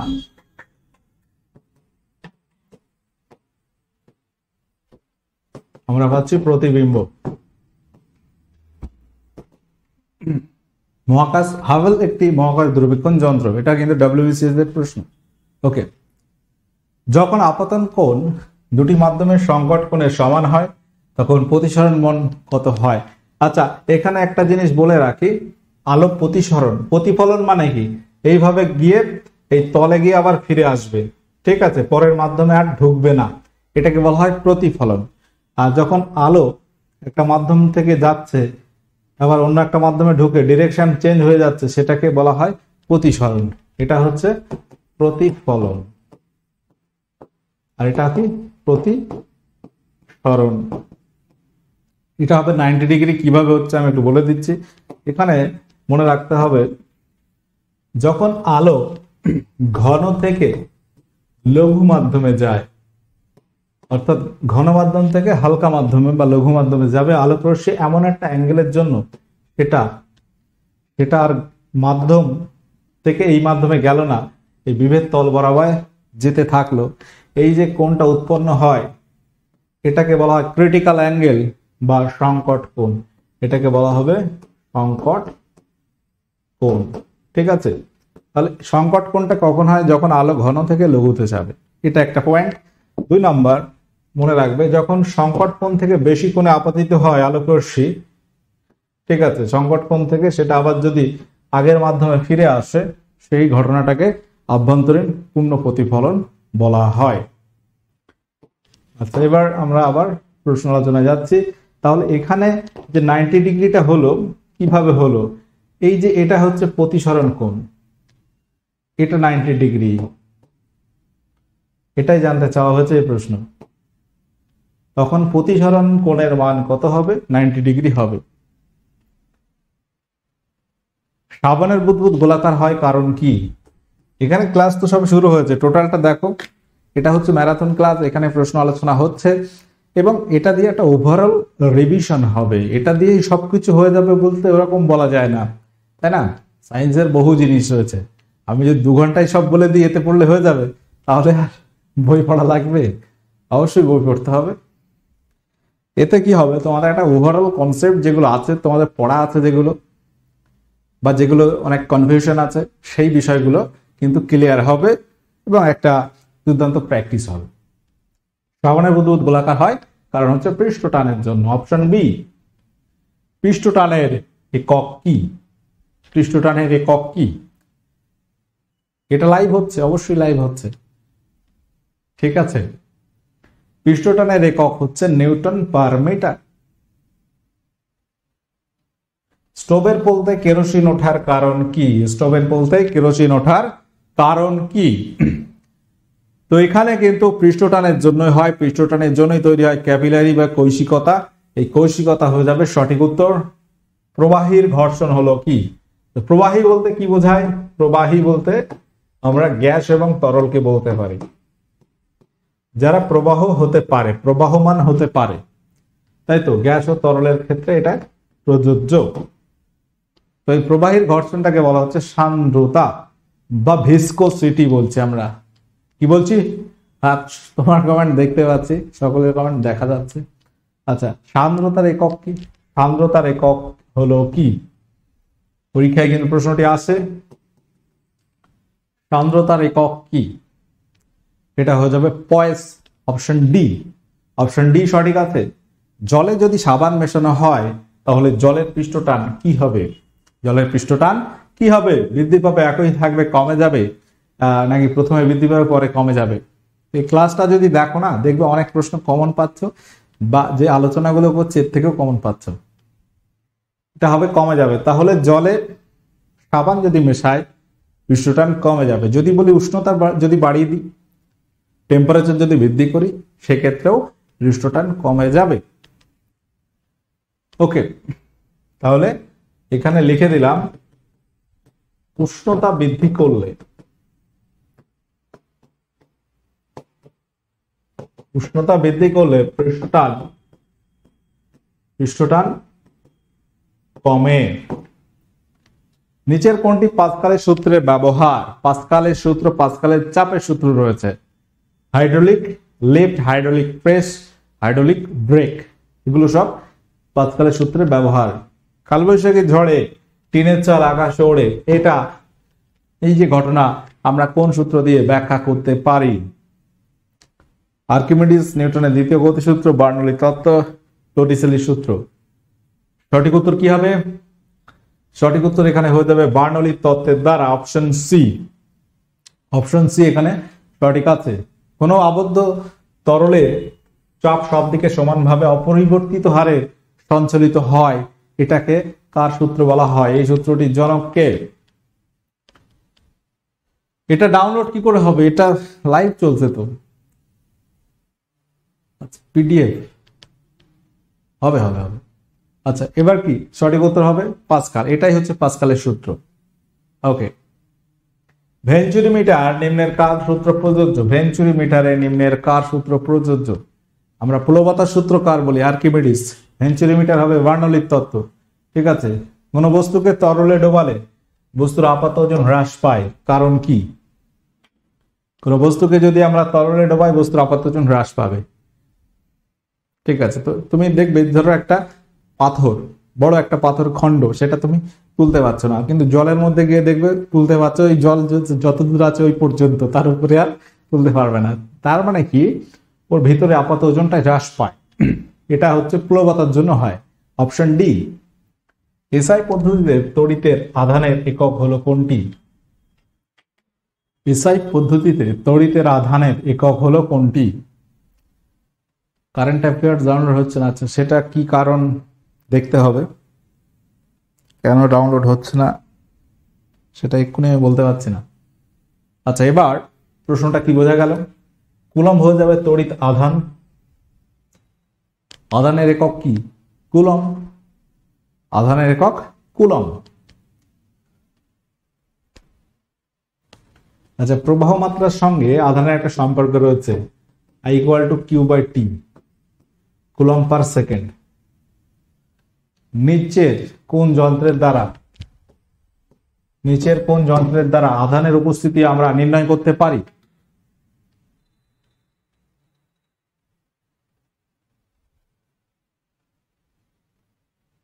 ওকে কি হবে বলো? তো এখানে সব কথা লিখতে গেলে আর ইতিহাস হয়ে যাবে। তিন ঘণ্টা, চার ঘণ্টা লাগবে। নিচের কোন যন্ত্রের সাহায্যে আমরা কোনো জিনিস আধান আছে কিনা বুঝব কীভাবে? স্বর্ণপত্র, তড়িৎ বীক্ষণ যন্ত্রের সাহায্যে। অপশন সি সঠিক আছে দুটি বিন্দু আধানের মধ্যে দূরত্ব দ্বিগুণ করা হলে ওদের মধ্যে স্থির তড়িৎ বলের মান কত হবে? দুটি বিন্দু আধানের মধ্যে যদি দূরত্ব দ্বিগুণ করা হয়, এখানে কুলম্বীয় বলের কথা বলছি। দ্রুত এটা সেই মহাকর্ষ সূত্রের একদম সেম রিলেটেড একই রকম। এটা F proportional to Q one Q two by R square ঠিক আছে? তো এখানে দূরত্ব যদি বাড়িয়ে দিই, তাহলে আকর্ষণ বলটা দ্বিগুণ হারে কমতে থাকবে, অর্থাৎ একের চতুর্থাংশ হবে। গৃহে তড়িৎ চালিত যন্ত্রপাতি পরস্পর যুক্ত করা হয়। কোন সজ্জায়? শ্রেণি নাকি সমান্তরাল? নাকি অপশন সি উভয়? নাকি ডি নান দিস তো গৃহে যদি আমরা বাড়িতে বৈদ্যুতিক যে সমস্ত বিষয় আছে, ইলেকট্রিক লাইন যখন টানা হয়, যে পাখা বা তোমার লাইট ইত্যাদি লাগানো হয়, এটা কোন মাধ্যমে? আমরা দুই রকম সিস্টেম জানি। একটা হচ্ছে শ্রেণি সমবায়, একটা সমান্তরাল সমবায়। ঠিক আছে? তো এটা হবে প্যারালাল কম্বিনেশন বা সমান্তরাল সজ্জায় লাগানো হয়। আচ্ছা শ্রেণির উদাহরণটা কি হবে? তুল্যরোধ কি হয়? এটা হচ্ছে শ্রেণি মাধ্যম। ঠিক আছে? এটা হচ্ছে একটা রোধ আর ওয়ান এটা যদি আর টু হয়, এদের মধ্যে যদি বলা হয় তুল্য রোধ কত? যদি শ্রেণি সমবায় থাকে তুল্য রোধ হয়ে যাবে R one plus R two ঠিক আছে, আর সমান্তরালটা কেমন হয়? বিদ্যুৎটা সবার সমানভাবে সঞ্চিত হয়। ঠিক আছে, এইভাবে। এটাকে বলা হয় সমান্তরাল সমবায়। তো এখানে বিদ্যুৎ পাস করলে, এখানে কম বিদ্যুৎ পাস করবে। কারণ কি? শ্রেণীতে এই রোধটা কিছুটা খেয়ে নেবে কারেন্ট। তার মানে এতে আরও কম কারেন্ট আসবে। কিন্তু সমান্তরালে কি হয়? কারেন্টটা এইভাবে সমানভাগে ডিস্ট্রিবিউট হয়। এখানে যদি মিডিল আর একটা লাগানো হয়, লাগানো যেতে পারে। সবার সমানভাগে ভাগ হবে। এবার এর সাথে একটা বর্তনী কারেন্ট জুড়ে দাও, ব্যাস, হয়ে গেল সার্কিট এইভাবে কারেন্টটা যাবে দিয়ে আবার এইভাবে ফিরে আসবে। তড়িৎ শক্তিকে যান্ত্রিক শক্তিতে রূপান্তরিত করে কি?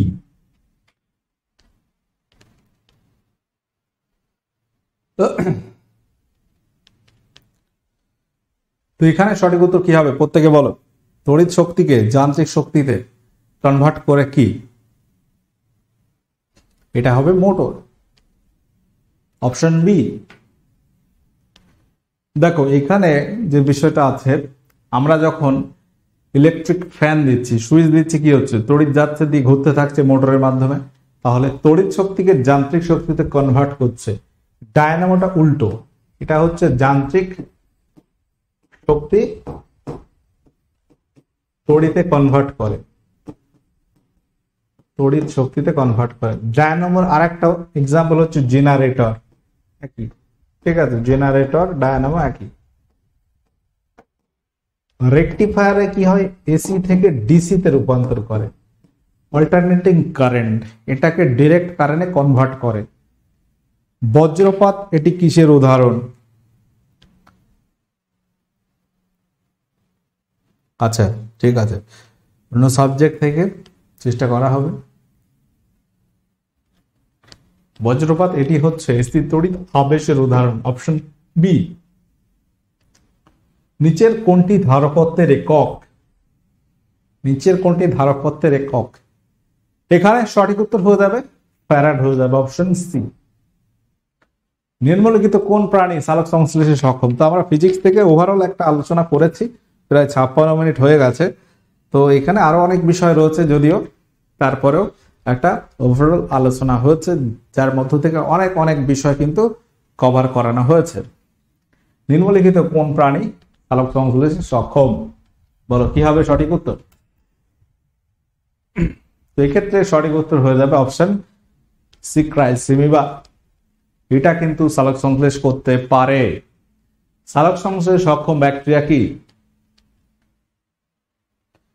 সালোক সংশ্লেষ আমরা বলি যে উদ্ভিদের ক্ষেত্রে, কিন্তু কিছু তোমার প্রাণীদের ক্ষেত্রে হতে পারে, কিছু ব্যাকটেরিয়াদের ক্ষেত্রে হতে পারে। যেমন, এখানে ব্যাকটেরিয়া বললে রোডোস্পাইরিলাম রোডোসিউডোমোনাস এই সমস্ত ব্যাকটেরিয়া সালোক সংশ্লেষ করতে পারে। সালোক সংশ্লেষে উৎপন্ন অক্সিজেন গ্যাসের উৎস হলো কি? সালোক সংশ্লেষে উৎপন্ন অক্সিজেন গ্যাসের উৎস হলো কি? সালোক সংশ্লেষে এটা হয়ে যাবে জল আচ্ছা সালোক সংশ্লেষে যে কাঁচামালটা লাগে, সেটা হচ্ছে কার্বন ডাইঅক্সাইড এবং জল। তাহলে মনে রাখবে, ছয় অণু কার্বন ডাইঅক্সাইড এর সঙ্গে বারো অণু জল লাগে। দিয়ে তৈরি হবে C six H twelve O six plus six O two plus six H two তো এখানে বলতে হবে যেটা প্রশ্নটা ছিল, এই যে অক্সিজেন অণুতে যে অক্সিজেন উৎপন্ন হচ্ছে, এটার উৎস হচ্ছে এই জল থেকে এই জলের অক্সিজেন থেকে এখানে আসছে এবং আরেকটা বিষয় একই সঙ্গে মনে রাখবে যে কার্বন ডাইঅক্সাইডের অক্সিজেন থেকে গ্লুকোজের অক্সিজেনটা আসে। সালোক সংশ্লেষ একক কাকে বলা হয়?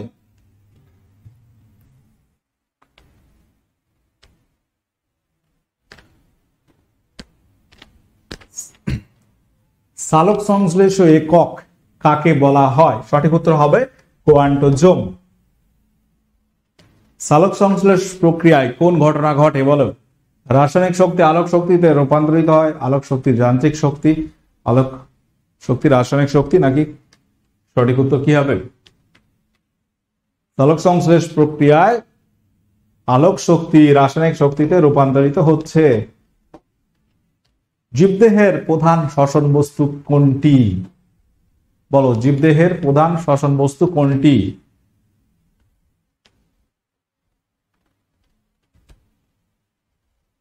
এটা হবে গ্লুকোজ। নিম্নের কে ফটোসিনথেসিস শব্দের প্রথম প্রবর্তন করেছিলেন। ফটোসিনথেসিস মানে কি? সালোক সংশ্লেষ। এটাকে, এই কথা কে ব্যবহার করেছিলেন? সঠিক উত্তর হবে জোসেফ বার্নেস আঠারোশো আটানব্বই সালে। সালোক সংশ্লেষের প্রধান রঞ্জক কি? তো সালোক সংশ্লেষ শুধু যে কার্বন ডাইঅক্সাইড এবং জল আছে বলে হয় তাই কিন্তু না। এখানে লাগে হচ্ছে ক্লোরোফিল। ক্লোরোফিল লাগবে। পাশাপাশি সূর্যালোক লাগবে। সূর্যালোক ও ক্লোরোফিল লাগে। এবং সূর্যালোকের থেকে যে আলোটা আসে সব থেকে ভালো হয় কোন আলোতে? সব থেকে ভালো হয় লাল আলোতে। এবং সব থেকে খারাপ হবে সবুজ আলো, কারণ সবুজ পাতা সবুজ আলো প্রতিফলিত করে। মুক্ত অক্সিজেনের সহায়তায় যে শ্বসন হয় তাকে কি বলা হয়?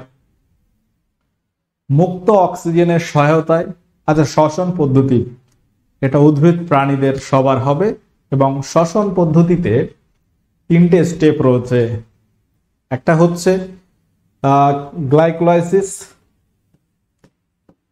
গ্লাইকোলাইসিস দুই নাম্বার হচ্ছে ক্রেপস চক্র। এবং তিন নাম্বার হচ্ছে, প্রান্তীয় শ্বসন। প্রান্তীয় শ্বসন। এটা হচ্ছে শ্বসনের পর্যায়। তিনটে স্টেপ হয়। তিনটে স্টেপে শ্বসন হবে। তো গ্লাইকোলাইসিসটা হয় কোষের সাইটোপ্লাজমে। কোথায় হয়? কোষের সাইটোপ্লাজমে। আর এই দুটো হয় মাইটোকন্ড্রিয়ায়। মাইটোকন্ড্রিয়া।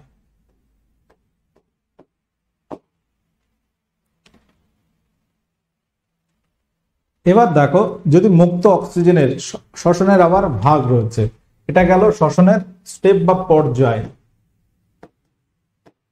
ঠিক আছে, এবার শ্বসনের ক্লাসিফিকেশন বা শ্রেণি বিভাগ রয়েছে। দুটো ভাগ, একটা সবাত এবং অবাধ যেখানে মুক্ত অক্সিজেন ডিরেক্টলি ইনভলভ সেটাকে সবাদ বলব। আর যেখানে অক্সিজেন যুক্ত যৌগের সাহায্যে, অর্থাৎ পরোক্ষভাবে অক্সিজেনটা ব্যবহার হচ্ছে, সেটাকে আমরা অবাধ শ্বসন বলি। ঠিক আছে? তো অবাধ শ্বসন এর একটা বিষয় হচ্ছে সন্ধান প্রক্রিয়া। আমরা ল্যাকটিক অ্যাসিড সন্ধান পাই, সেখানে ল্যাকটিক অ্যাসিড সন্ধান প্রক্রিয়ায়, কোষে ল্যাকটিক অ্যাসিড জমা হয়। মানুষের পেশির ক্লান্তি কেন হয়? ল্যাকটিক অ্যাসিড জমা হয় বলে প্রশ্ন আসে। আচ্ছা শ্বসনে এরকম একটা টার্ম পাচ্ছি আর কিউ যেটাকে বলা হয় রেসপিটরি কোশেন্ট বা তোমার শ্বসন অনুপাত। শ্বসন অনুপাত। এটা কি? দেখো, কার্বন ডাইঅক্সাইড গ্রহণ করছি, এই সরি অক্সিজেন গ্রহণ করছি, কার্বন ডাইঅক্সাইড বর্জন করছি। তো আমরা যতটুকু অক্সিজেন গ্রহণ করছি এবং কতটুকু কার্বন ডাইঅক্সাইড বর্জন করছে ওটু গ্রহণ এবং সিও টু বর্জন। এই যে রেশিওটা এটাকে আর কিউ বলা হয়। ঠিক আছে? তো ফ্যাটের ক্ষেত্রে এটা হয় জিরো পয়েন্ট সেভেন। ঠিক আছে? আচ্ছা ফ্যাটের ক্ষেত্রে হয় জিরো পয়েন্ট সেভেন। গ্লুকোজের ক্ষেত্রে ওয়ান হয়। এটা হয় কার্বোহাইড্রেট। কার্বোহাইড্রেট।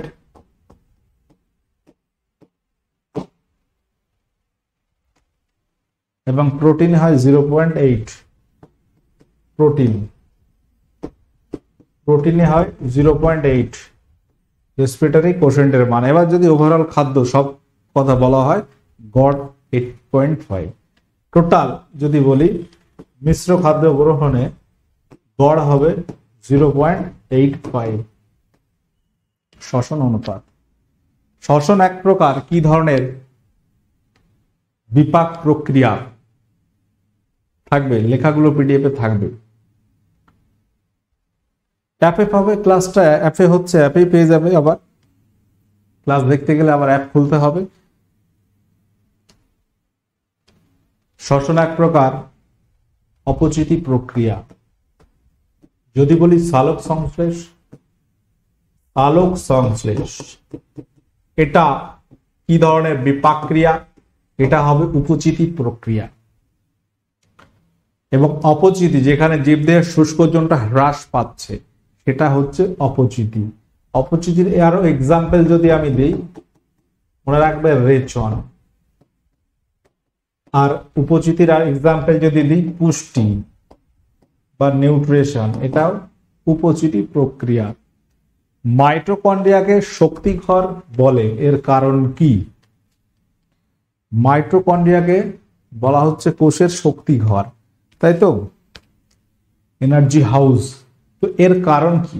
এর কারণ হচ্ছে এখানে এটিপি জমা হয়। এটিপি হচ্ছে অ্যাডিনোসিন ট্রাইফসফেট সূর্য থেকে আসছে এটিপি তো এই শক্তি জমা হয় বলে মাইটোকন্ড্রিয়াকে কোষের শক্তিঘর বলে। আচ্ছা কোষের মস্তিষ্ক কাকে বলে? কোষের মস্তিষ্ক কাকে বলা হয়? মনে রাখবেন নিউক্লিয়াসকে। নিউক্লিয়াস।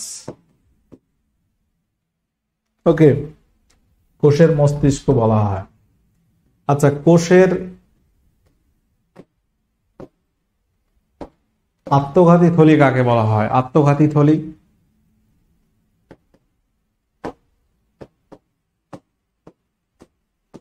আত্মঘাতী থলি কাকে বলা হয়? কোষের আত্মঘাতী থলি বলা হয় লাইসোজোমকে। লাইসোজোম। তাই তো? এটাকে বলা হয়। আচ্ছা তিন নাম্বার কোষের শক্তি ঘর। হয়ে গেল। আচ্ছা রাইবোজোমকে কি বলা হয়? রাইবোজোমকে, বলো তো। রাইবোজোমকে কি বলা হয়? কোষের প্রোটিন ফ্যাক্টরি। একদম সঠিক, অমিত হাসান মোল্লা। কোষের প্রোটিন ফ্যাক্টরি বলা হয় কাকে? Protein factory. বলা হয় রাইবোজোমকে। তাহলে এই যে বিষয়গুলো থেকে প্রশ্ন আসে। ওকে, ঠিক আছে। মানুষের সাসঙ্গের গ্যাসীয় বিনিময় কোথায় ঘটে? তো মানুষ শুধু না, প্রাণীদের তথা উদ্ভিদের কিন্তু শ্বাসযন্ত্র থাকে। বিভিন্ন উদ্ভিদের শ্বাসমূল, ঠেসমূল থাকে, বিশেষ করে লবণাম্ব উদ্ভিদের। পাশাপাশি শ্বাস ছিদ্র থাকে বা পত্র রন্ধ্রের মাধ্যমে উদ্ভিদরা শ্বসন প্রক্রিয়া করতে পারে বা গুল্ম জাতীয় উদ্ভিদের থাকে লেন্টিসেল তাই তো? তো এরকম মানুষের থাকে ফুসফুস এটা হচ্ছে শ্বাস অঙ্গ। এখানে গ্যাসীয় বিনিময় ঘটে। ফুসফুসে বায়ুর মানে ক্যাপাসিটি কত? ছ লিটার ম্যাক্সিমাম ঠিক আছে? তো বিভিন্ন প্রাণীদের যে শ্বাসযন্ত্র থাকে, তার মধ্যে যদি বলি, মাছের ক্ষেত্রে কি? ফুলকা। তিমি মাছের ক্ষেত্রে ফুসফুস। স্তন্যপায়ীদের বিশেষ করে ফুসফুস। প্রশ্নগুলো থাকে। জিওল মাছের অতিরিক্ত শ্বাসযন্ত্র থাকে কিছু। ফুলকা ছাড়াও। পুষ্টি এক প্রকার কি ধরনের বিপাক প্রক্রিয়া? এটা তাহলে উপচিতি বিপাক প্রক্রিয়া। অপশন বি সঠিক আছে। প্রোটিন জাতীয় খাদ্যের অভাবে নিম্নের কোন রোগ হতে পারে? প্রোটিন জাতীয় খাদ্যের অভাবে কোন রোগ হতে পারে? সঠিক উত্তর এখানে কি হবে? প্রোটিন জাতীয় খাদ্যের অভাবে অপশন ডি হতে পারে। অর্থাৎ কুবাসিয়াকর ম্যারাসমাস উভয় রোগ হয়।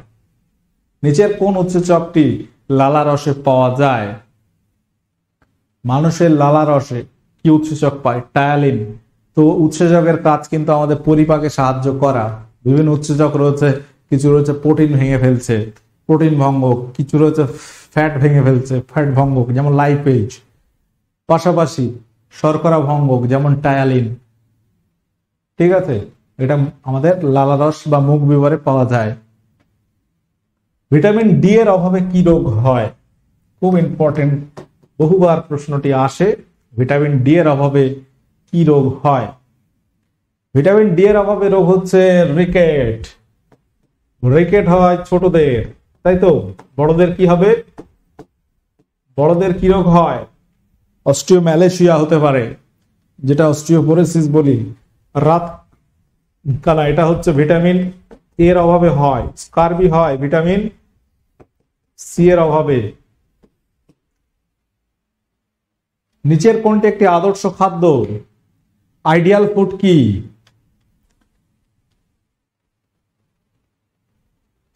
সুষম খাদ্য কি? ব্যালেন্স ডায়েট সেখানে এবং আদর্শ খাদ্যের একটা ডিফারেন্স আছে। আদর্শ খাদ্যে যদি প্রোটিন ভিটামিন ফ্যাট বা অন্যান্য আরও খনিজ উপাদান ইত্যাদি থাকে সেগুলোকে আদর্শ বলতে পারে, যেমন দুধ, এটার মধ্যে অনেক ধরনের ভিটামিন, অনেক মিনারেলস রয়েছে। তো সেই জন্য দুধকে একটা আইডিয়াল ফুড বলা হয়। কিন্তু ব্যালেন্স ডায়েট বা সুষম খাদ্য বলা যায় না। কারণ ব্যালেন্স ডায়েট বলতে তোমার প্রোটিন ফ্যাট কার্বোহাইড্রেট এগুলো একটা অনুপাত থাকে সেগুলো। ভিটামিনকে আবিষ্কার করেন। ভিটামিন অনেক আছে vitamin A vitamin B complex vitamin C vitamin D vitamin E vitamin K অনেক রকম। তো সবগুলো রাসায়নিক নাম জানতে হবে। আমরা আজকের ক্লাসে আর অত আলোচনায় যাচ্ছি না। ভিটামিন আবিষ্কার হচ্ছে বিজ্ঞানী ক্যাশিমির ফ্রাঙ্ক, অপশন সি উনিশশো এগারো সালে তিনি ভিটামিন আবিষ্কার করেছিলেন। ভিটামিনের কাজ কি? ভিটামিনের কাজ হচ্ছে দেহের রোগ প্রতিরোধ করা। তাই তো? ভিটামিনের কাজ কি? টু প্রোটেক্ট আওয়ার বডি বিভিন্ন রোগ প্রতিরোধ করা। রক্ষা করা, শরীরকে রক্ষা করা। নিয়াসিন ভিটামিনের অভাব, নিয়াসিনটা হচ্ছে ভিটামিন বি থ্রি, যেটাকে বলছি আমরা নিয়াসিন। এর অভাবে হচ্ছে পেলেগ্রাফ। পারনিসিয়াস অ্যানিমিয়া হয় ভিটামিন বি টুয়েলভের অভাবে। বি টুয়েলভের রাসায়নিক নাম হচ্ছে সায়ানোকোবালামিন। আচ্ছা ভিটামিন এ, এর রাসায়নিক নাম কি? Retinol, vitamin C ascorbic acid vitamin D calciferol vitamin E tocopherol vitamin K phylloquinone phylloquinone vitamin K হয়ে গেল। তাহলে ভিটামিন এর অভাবজনিত রোগ আমরা কি বললাম? রাতকানা হতে পারে। বা ফিনোডার্মা টোড স্কিন যেটা বলছি, ব্যাঙের মতো চামড়া হতে পারে। ভিটামিন এর অভাবে। ভিটামিন বি কমপ্লেক্সের মধ্যে বি ওয়ান রয়েছে। বি ওয়ান মানে হচ্ছে কি? Thiamine B two, riboflavin, B three, niacin, তারপর হচ্ছে B six, pyridoxine, B five pantothenic acid. তো এইভাবে রয়েছে বি সেভেন, বায়োটিন ইত্যাদি রয়েছে, ঠিক আছে? B twelve cyanocobalamin B nine, folic acid, ঠিক আছে? এগুলো আর লিখলাম না। এগুলো কিন্তু পরীক্ষা আসে আচ্ছা এবার উদ্ভিদের রেচনের কথা যদি বলি আমরা, প্রাণী উদ্ভিদ, সকলের রেচন আছে তো? আর রেচন যন্ত্র আছে প্রাণীদের নির্দিষ্ট, কিন্তু উদ্ভিদের সুনির্দিষ্ট রেচন অঙ্গ নেই। তাই তো? প্রাণীদের যেমন একটা রেচন অঙ্গ আছে, মানুষের যেমন কিডনি রয়েছে বা বৃক্ষ প্রাণীদের, বিভিন্ন প্রাণীদের বিভিন্ন রকম রয়েছে। কিন্তু উদ্ভিদের বিভিন্ন পদ্ধতি রয়েছে। কোনো পদ্ধতি রয়েছে ছাল মোচন বা বাকল মোচন, যেমন পেয়ারা, পত্র মোচন, যেমন আমড়া, শাল, যেগুলো পর্ণমোচী, ফল মোচন বিভিন্ন ফল আছে, পুষ্পমোচন অস্ট্রেমালেশিয়া সরি অন্য কি একটা উদ্ভিদ রয়েছে, যাই হোক। তারপর রয়েছে জলমোচন, টমেটো, এরকম ভাগ রয়েছে। ওকে, তো এই সমস্ত বিষয় পাশাপাশি এবার উদ্ভিদের যে রেচনটা, সেটা কিন্তু মানুষের কাজে লাগে। যেগুলো নাইট্রোজেন যুক্ত উদ্ভিদের, সেগুলোকে আমরা কি বলি? উপাক্ষার। এই উপাক্ষার সর্বগন্ধা গাছ থেকে আমরা রেসারপিন পাই, যেটা উচ্চ রক্তচাপ নিয়ন্ত্রণ করে। কুইনাইন পাচ্ছি সিনকোনা গাছের ছাল থেকে, তাই তো? সিনকোনা গাছ থেকে যে কুইনাইন পায়, সেটা ম্যালেরিয়া রোগের চিকিৎসায় ব্যবহার হয়। হাঁপানি হাঁপানি রোগের উপশমে কোন উপাক্ষারে আমরা ব্যবহার করি? আচ্ছা আজকে প্রথম ক্লাস করছ, অনেকে আছো, যাই হোক। ক্লাসে থেকে যাও, একটু হয়তো দেরি হচ্ছে, দুপুরবেলা অনেকে স্নান করবে, খাবে, বুঝতে পারছি, একটা বাট শেষ পর্যন্ত টিকে থাকতে হবে তোমাকে মাঠে। তবেই তো সফলতা আসবে নাকি? আপনি গিয়ে ছেড়ে দিলে হবে না। লেগে থাকতে হবে। এটাই হচ্ছে মেন ফান্ডা তো হাঁপানি রোগ, উপশমে আমরা ডাটুরিন পাত ব্যবহার করি। এটা কোন গাছ থেকে পায়? ধুতরা। ধুতরা গাছের পাতা ফুল থেকে পায়। ওকে মরফিন কোথা থেকে পাই আফিম গাছ থেকে পাচ্ছি মরফিন। এফিড্রিন, এফিড্রা গাছ থেকে পাচ্ছি। অ্যাট্রোপিন নিম্নের কোথা থেকে পাচ্ছি? কোথা থেকে পাওয়া যায়? অর্থাৎ কোন উদ্ভিদের? তো ধুতরার পাতা ও ফল থেকে আমরা পাচ্ছি ডাটুরিন। ডাটুরিন।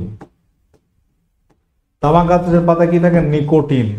যেটা হচ্ছে স্নায়ুর উত্তেজক.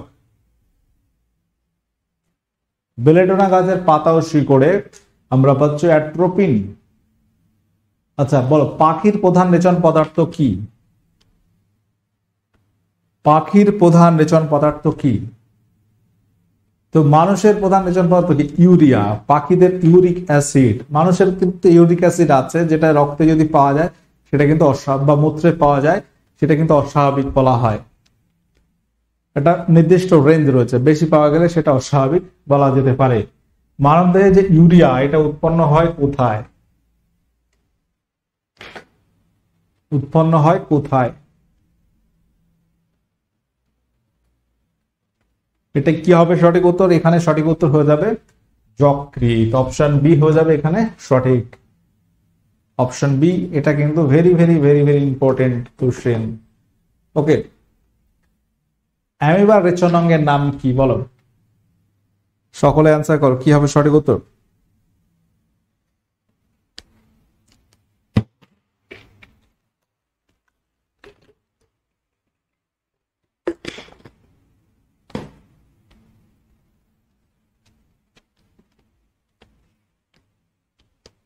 অপশন বি অপশন বি এখানে সঠিক আছে এটা রেচন অঙ্গ যদি ক্ষণপথ বলো এটা হবে গগন অঙ্গ একশোটা কোশ্চেন স্যার জল খেয়েছি? আচ্ছা এবার কিন্তু একটু এই জায়গাটা। হ্যাঁ। এখানে আমাদের কোন কোন ব্যাচ চলছে স্যার একটু বলবেন? একটু জাস্ট বলে দেন।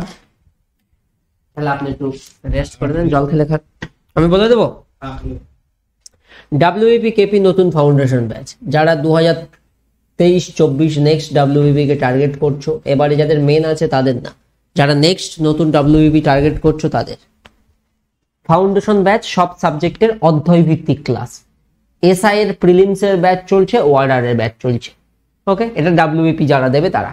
এসএসসি জিডি বছরে দুবার হচ্ছে, দুবার এই অর্থে দু হাজার তেইশ চব্বিশের একটা আর চব্বিশ পঁচিশের একটা। পরপর দুটো পরীক্ষা।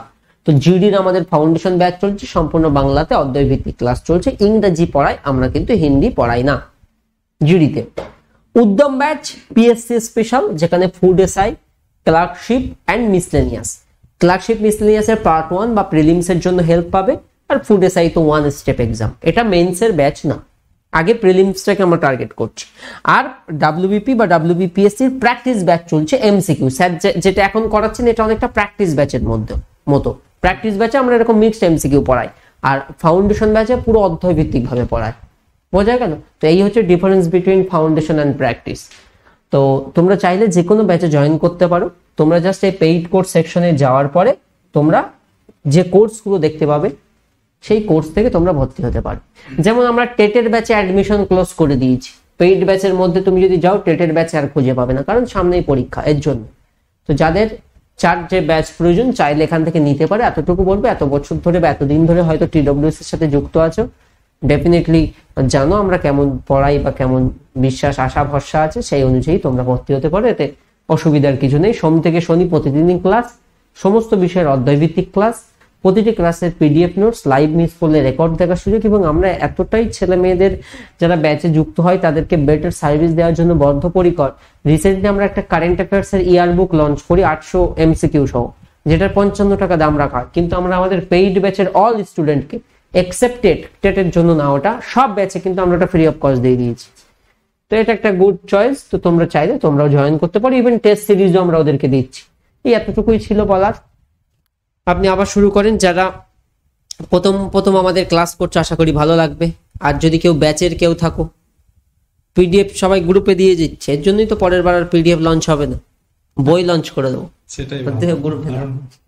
মানে এত পরিমাণে আমাদের এই পিডিএফ দিয়ে স্ক্যাম করে জালিয়াতি করে মানে কি বলব? ধরো আমরা ফিফটি ফাইভ দাম রেখেছি তো এটার উপর চাইলে লিগেল স্টেপ নেওয়া যায় মানে মানে আমার সময় হয় না তাই সত্যি সত্যি। প্রত্যেকটা আমাদের register trademark the way of solution government of India সাইডে গিয়ে দেখবে ট্রেডমার্ক রেজিস্ট্রেশন হ্যাঁ আমাদের নেওয়া আছে। তো আমরা চাইলে যে কোনো টাইমে এনি টাইমে স্টেপ নিতে পারি। বাট এটাই নিয়ে অন্য অন্য বন্ধুদেরকে বলি দশ টাকাতে আমি দিয়ে দিচ্ছি। কিন্তু এটা খেলনা পেয়েছে। এই ধরনের কিন্তু করা ঠিক না মোটেই। কারণ একটা পিডিএফ বানাতে অনেক অনেক মানে মেহনত থাকে।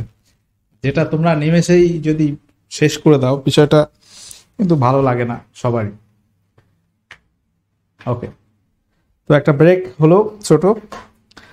তো আবার আলোচনা শুরু হবে এখানে টোটাল সায়েন্সের এখানে শুধু ফিজিক্স প্রথমে বায়োলজি হচ্ছে আবার লাস্টে কেমিস্ট্রি দিয়ে টোটালটা শেষ হবে কারণ পরীক্ষা তো এসে যাচ্ছে। এই ধরনের রিভিশন ক্লাস তোমাদের খুবই কিন্তু কাজে লাগবে, দেখবে পরীক্ষার সময় মনে পড়বে। ওকে তাহলে আবার শুরু করছি। বলো, চিংড়ি মাছ রেচনঙ্গের নাম কি? এটা কিন্তু বহুবার পরীক্ষায় এসেছে প্রশ্নটা। সাল মেনশন করা না থাকতে পারে বাট পরীক্ষায় এসেছে। ওকে চিংড়ি রেচনাঙ্গের নাম কি? অপশন বি হয়ে যাবে গ্রিন গ্ল্যান্ড বা সবুজ গ্রন্থি। কক্সাল গ্রন্থি কাদের থাকে? মাকড়সা। মাকড়সা বা তোমার কাকড়া বিছা এদের থাকে কক্সাল গ্রন্থি। আমি নামছি উনিও চলে যাচ্ছে হয়ে গেলে আমার একটা কল করবেন আর পিডিএফ কিপ করবেন আচ্ছা, এটা। আমাদেরকে আপলোড করে দেবেন কিপ করবেন ওকে ওকে ওকে ঠিক। হয়ে গেলাম। আমার ডাকবেন আর এটা থেকে আরশোলা।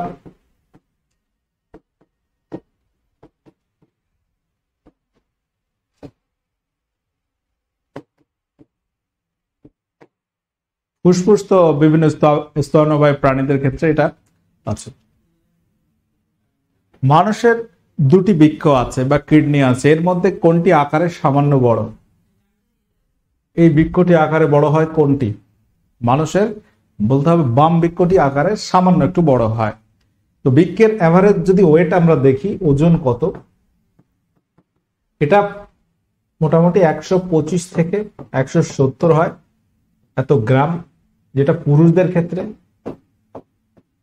মহিলাদের ক্ষেত্রে এটা একশো পনেরো থেকে একশো পঞ্চান্ন গ্রাম মহিলাদের ক্ষেত্রে ওয়েটটা হয়। ঠিক আছে?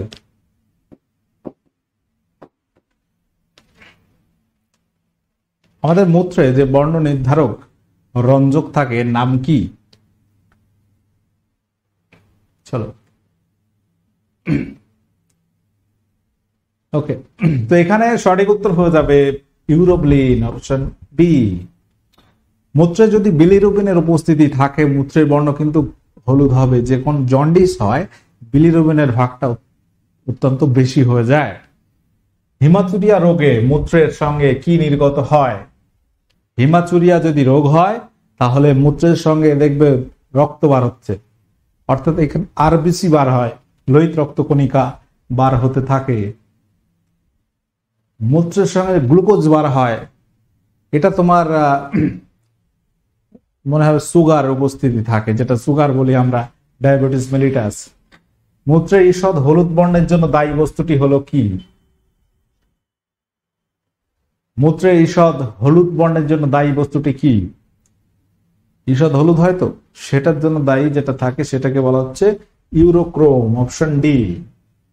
এটাকে বলা হচ্ছে ইউরোক্রোম।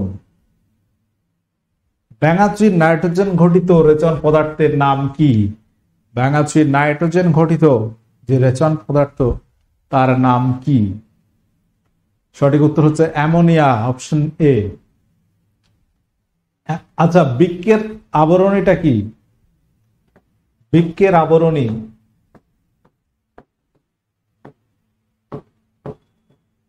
এটার নাম কি? পেরিটেনিয়াম।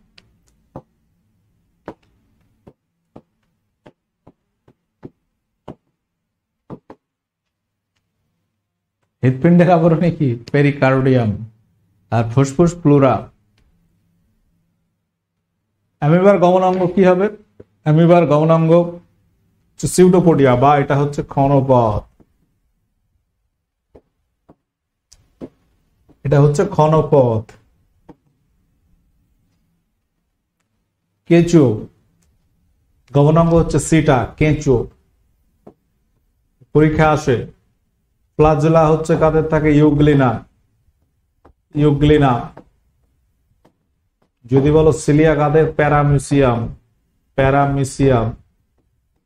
এদের থাকে গমনাঙ্গ হাইড্রা কোর্সিকা হাইড্রা কি হয়? কোর্সিকা ক্রিপিং গমন পদ্ধতি কার দেখা যায়? কেঁচো। যোগ, এদের ক্রিপিং গমন পদ্ধতি দেখা যায়। আলোর প্রভাবে উদ্ভিদের বৃদ্ধিকে কি বলা হয়? আলোর প্রভাবে উদ্ভিদের বৃদ্ধিকে কি বলা হয়? এটাকে বলা হয় ফটোট্রপিজম।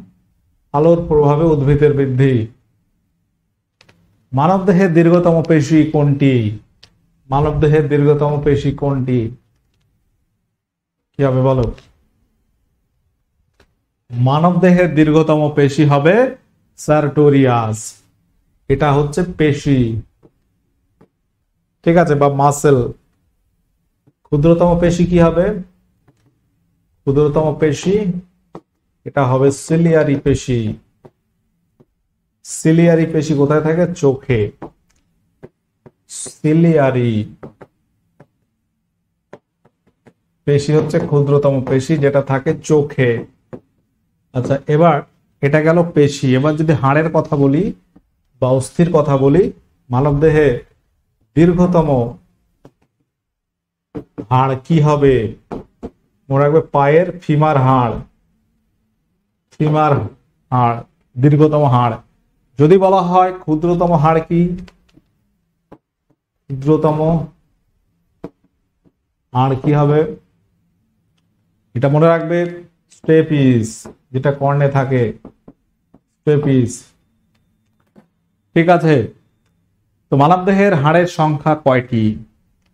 হিউম্যান বডিতে কটা বোন বা হাড় থাকে? মোট দুশো ছয়টি।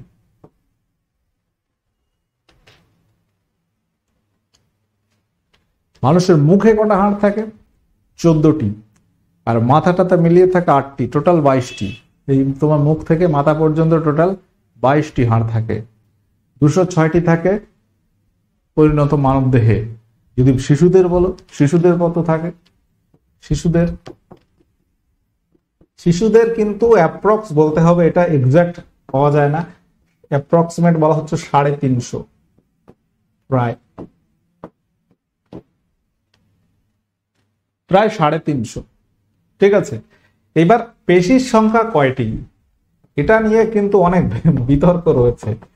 তুমি দেখবে ছশো উনচল্লিশ দেখাচ্ছে বেশিরভাগ website how many muscle in human body ছশো উনচল্লিশ দেখাবে। এটা ছশো উনচল্লিশ আরও বেশি এক্সাক্ট ফিগার কোনো বইতেই লেখা নেই। ঠিক আছে? ওকে পেশি সম্পর্কিত বিদ্যাকে কি বলা হয়? পেশি সংক্রান্ত বিদ্যাকে আমরা কি বলি? বলো, কি হবে সঠিক উত্তর?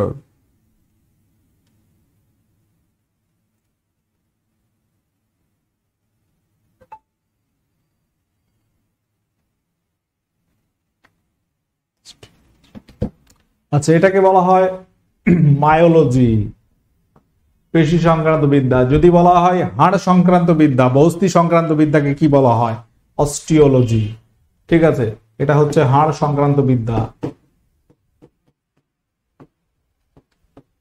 এটাকে বলা হয় হাড় সংক্রান্ত বিদ্যা। ওকে। অস্টিওলজি মৃত্যুর পর যে পেশি দৃঢ় হয়ে যায় বা টান টান হয়ে যায়, এটাকে কি বলা হয়? পেশি যে দৃঢ় হয়ে যায়, এটাকে কি বলে? এটাকে পেশিটান বলে, টিটেনাস, রাইগার মোটিস নাকি পেশি টুইড এটাকে বলা হয় রাইগর মোটিস প্রশ্নটা মনে রাখবে ইম্পর্টেন্ট লজ্জাপতি লতায় তুমি যদি হাত দাও, দেখবে পাতাটা মুড়ে যাবে, স্পর্শ করলে এক ধরনের চলন দেখা যায়। চলন মানে কি? এক জায়গায় স্থির অঙ্গ প্রত্যঙ্গের সঞ্চালন হয়, আর গমন বলতে স্থান পরিবর্তন। তো উদ্ভিদের বেশিরভাগ চলন দেখা যায় কিছু কিছু উদ্ভিদ যাদের গমন দেখা যায়, সেগুলো ব্যতিক্রম। আচ্ছা এটা হচ্ছে সিসমোনাস্ট্রি ঠিক আছে? থার্মোনাস্ট্রি তাপের প্রভাবে যদি চলন, সেটাকে থার্মোনাস্ট্রি বলা হয়। গমনে সক্ষম উদ্ভিদ কোনটি বলতো বললাম না, কিছু উদ্ভিদ গমনে সক্ষম আছে। তো এখানে বলতে হবে, গমনে সক্ষম উদ্ভিদ কোনটি হবে? লোয়েথ্রেবাল ভয়েল বক্স মিউকর নাকি সবগুলি? এখানে সঠিক উত্তর অপশন বি ভল বক্স এই উদ্ভিদ গমনে সক্ষম। অভিকর্ষ প্রতিকূলবর্তী মূল কাদের দেখা যায়? আচ্ছা অভিকর্ষ প্রতিকূলবর্তী কি? অভিকর্ষ মানে কি? নিচের দিকে টানছে, কিন্তু এর মূলটা মূলটা কি হয়? মূল নর্মালি নিচের দিকে হয়, কিন্তু এটা বিপরীত দিকে, উল্টো দিকে। এটা আমরা পাচ্ছি শ্বাসমূল যাদের দেখা যায়, লবণাম্ব উদ্ভিদের। হ্যালোফাইট, যে সমস্ত মৃত্তিকা অতিরিক্ত লবণাক্ত। সেখানে তারা ওই মৃত্তিকা থেকে যে জল থেকে, অক্সিজেন সংগ্রহ করতে পারে না। ঠিক আছে? তো সেজন্য তাদের অভিকর্ষ বিপরীত মুখী, অর্থাৎ অভিকর্ষ প্রতিকূলবর্তী মূল দেখা যায়, যেমন শ্বাসমূল, ঠেসমূল। শ্বাসমূল আর কি, যেটা লবণাম্ব উদ্ভিদে দেখতে পায়। আচ্ছা জেরোফাইট, এটা হচ্ছে মরু অঞ্চলের কাঁটা জাতীয় উদ্ভিদ, মরু অঞ্চলে জন্মায়। কাঁটা জাতীয় ক্যাকটাস, ঠিক আছে? জেরোফাইটের উদাহরণ হবে। ফণিবনসা, ক্যাকটাস, এগুলো হচ্ছে জেরোফাইট উদ্ভিদের উদাহরণ। কাঁটা জাতীয় উদ্ভিদ।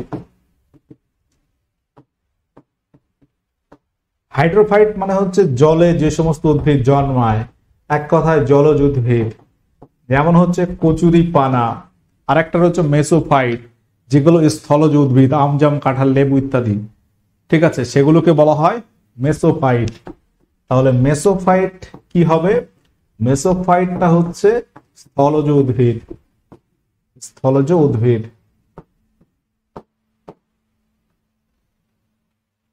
পরবর্তী প্রশ্ন, নিম্নের কোন আয়নটি পেশি সংগঠনের জন্য অপরিহার্য? তো অনেক সময় হাড়ের দুর্বলতা হলে দেখবে ডাক্তারবাবুরা ভিটামিন ডি লেখে, ক্যালসিয়াম। Calcium calcium tablet. ঠিক আছে, অপশন এ, এটা সঠিক হবে পেশি সংগঠনের জন্য অপরিহার্য। কবজা সন্ধি, এটা কোথায় দেখা যায়? হাঁটুতে, কবজিতে, কোনোতে নাকি option C option D A এবং সি তো সঠিক উত্তর এখানে কি হবে? কবজা সন্ধি আমরা দেখতে পাচ্ছি, অপশন ডি এ এবং সি হাঁটুতে কোনোইতে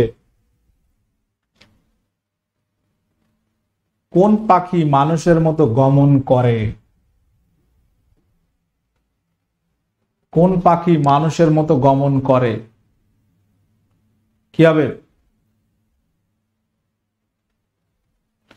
মানুষের মতো গমন করা হচ্ছে পেঙ্গুইন। কোন পেশি মাছেদের গমনে সাহায্য করে?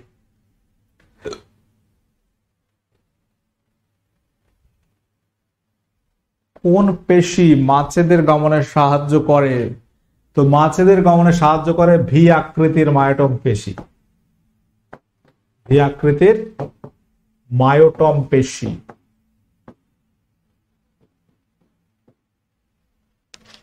অপশন সি সঠিক আছে। বাস্তুতন্ত্রের জড় উপাদান কি কি বলো? তো আমরা বায়োলজির যে চ্যাপ্টারগুলো আছে দেখতে পাচ্ছ একের পর এক, আলোচনা করছি। বাস্তুতন্ত্রের জড় উপাদান কি?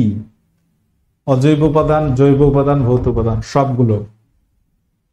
কোষ নামকরণ কে করেন?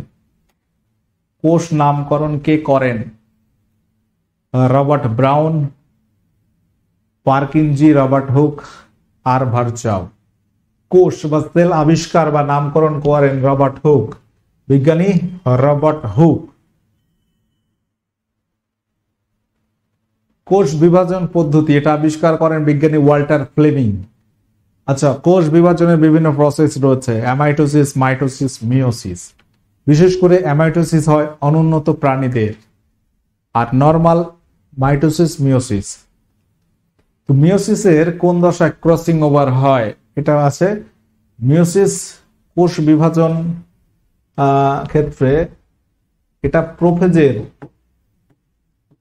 আমরা জানি চারটি দশার মাধ্যমে কোষ বিভাজন হয়। Prophase, metaphase, anaphase, telophase. Prophase এর উপদশা। উপদশা রয়েছে, তার মধ্যে প্যাকেটিন উপদশায় মিওসিসের ক্রস ক্রসিং ওভার হয়। কোন দশায় ক্রোমোজেমগুলি ভিএল আইজি আকৃতি ধারণ করে? ঠিক আছে? দেখো, কোষ বিভাজনে কি, কোষে কি থাকে? Nucleus, cytoplasm. তো একবার হচ্ছে নিউক্লিয়াসের বিভাজন, একবার হবে সাইটোপ্লাজমের বিভাজন। ঠিক আছে? এবং এই যে ক্রোমোজোম রয়েছে, এখানে ক্রোমোজোমগুলো ভিএলআই যে ধারণ করে, অ্যানাফেজ দশায়। ঠিক আছে? অ্যানাফেজ। অ্যানাফেজ দশায়।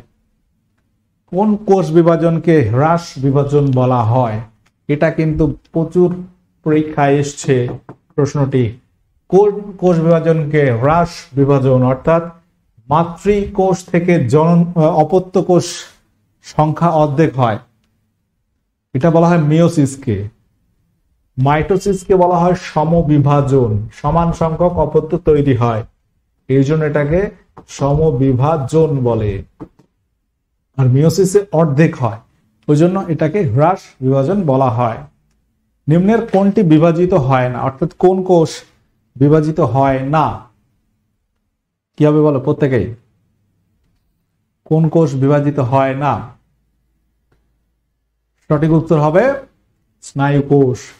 স্নায়ু কোষ বিভাজিত হয় না, কারণ এখানে সেন্ট্রোজোম নেই। সেন্ট্রোজোম নেই।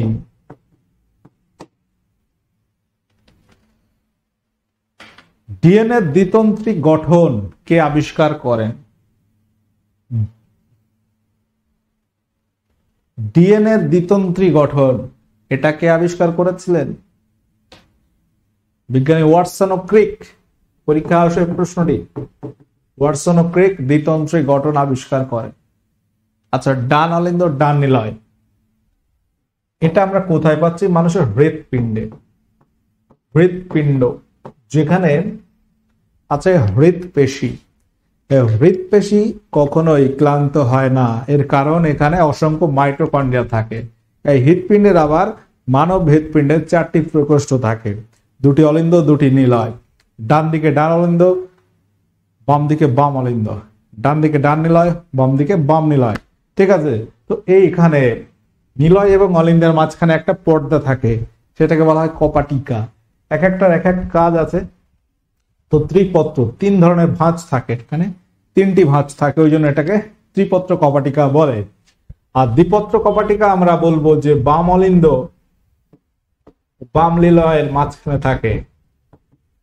বাম অলিন্দ বাম নিলয় নিলয়ের মাঝে থাকে।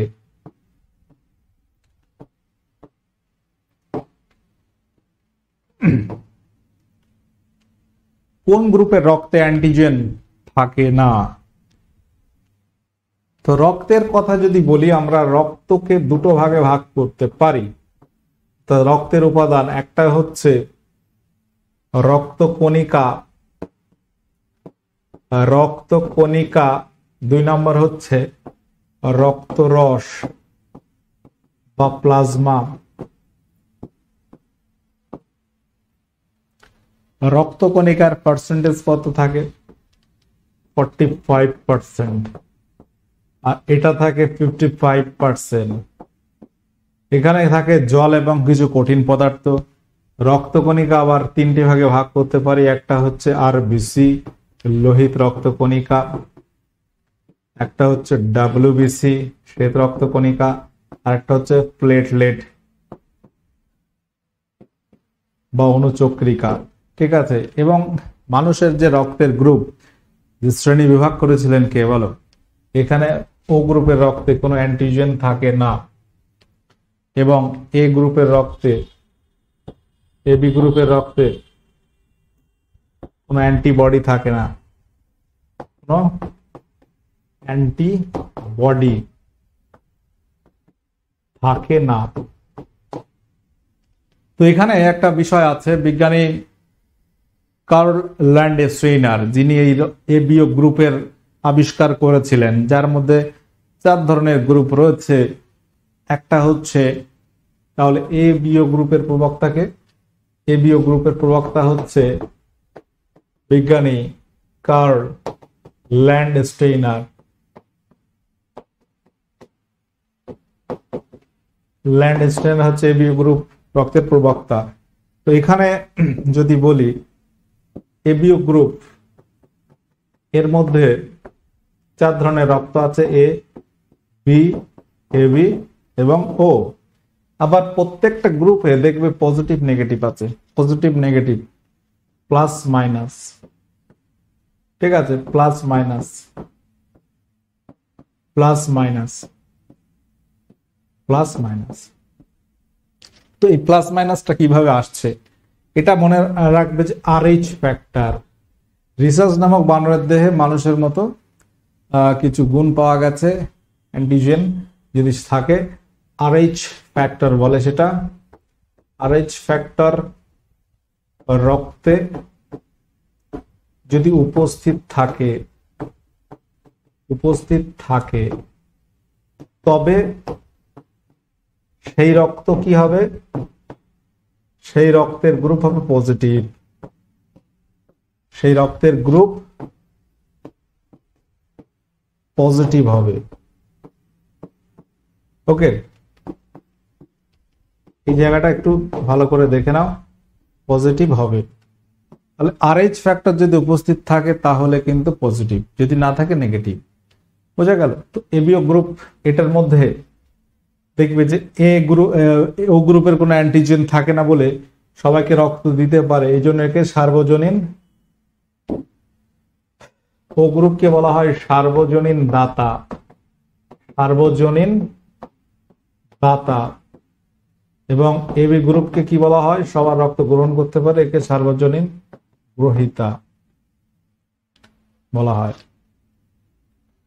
ওকে, তাহলে এখানে আমরা আলোচনা করছিলাম। আরবিসি ডব্লিউবিসি প্লেটলেট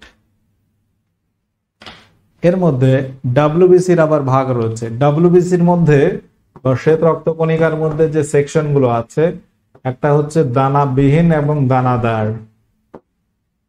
দানাদার মানে মিষ্টি দানাদার না দানা যুক্ত বলতে পারি।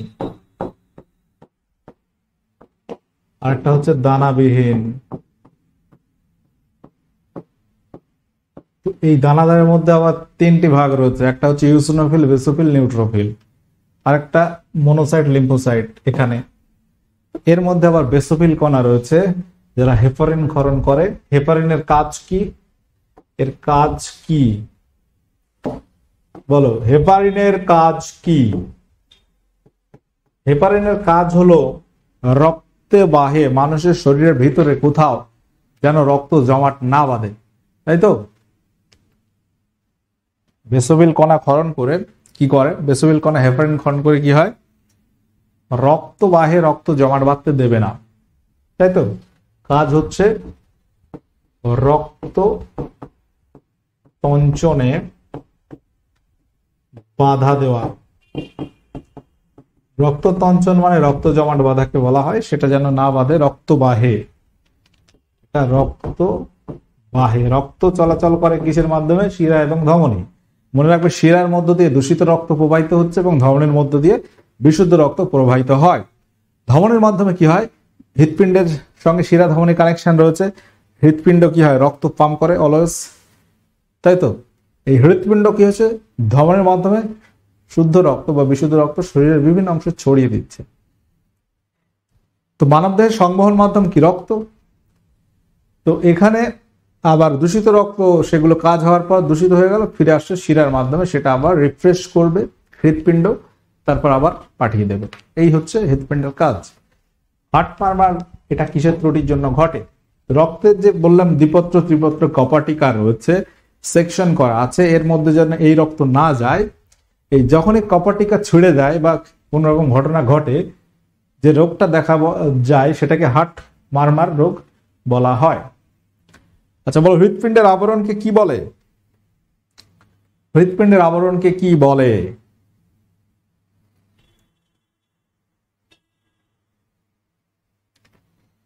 হৃৎপিণ্ডের আবরণকে কি বলা হয়? হৃৎপিণ্ডের আবরণকে বলা হয় পেরিকার্ডিয়াম তাহলে পেরিটেনিয়ামটা কিসের?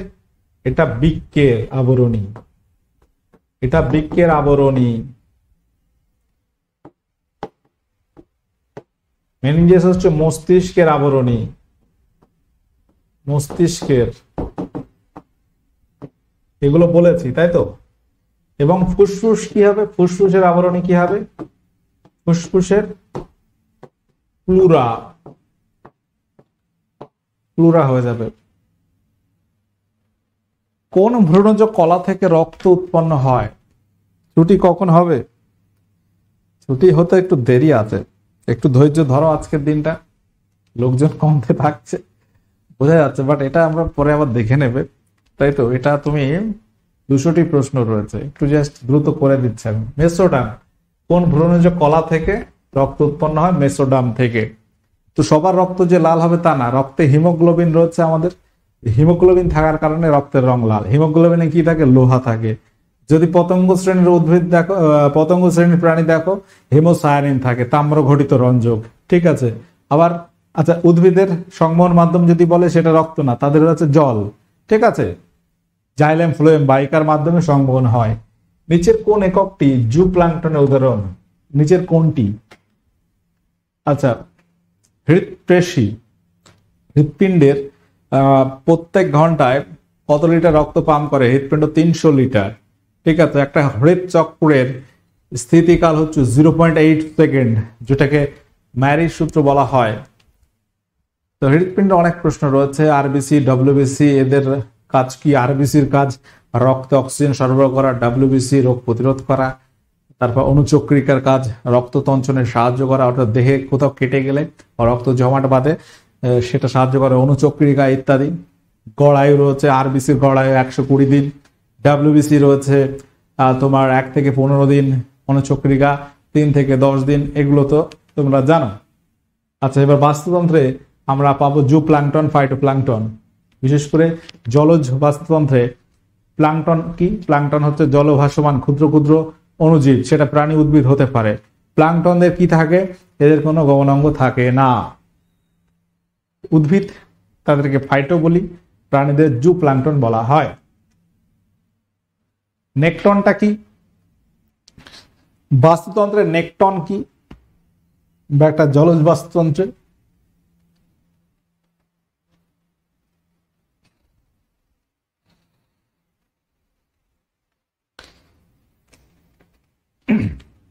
তো নেকটন হচ্ছে নেকটন হচ্ছে জলে সন্ত্রণশীল জীব, যেটাকে আমরা নেকটন বলি। যে সমস্ত জীব জলে সাঁতার কেটে চলতে পারে, যেমন মাছ, চিংড়ি, ঠিক আছে? তারা মাছ।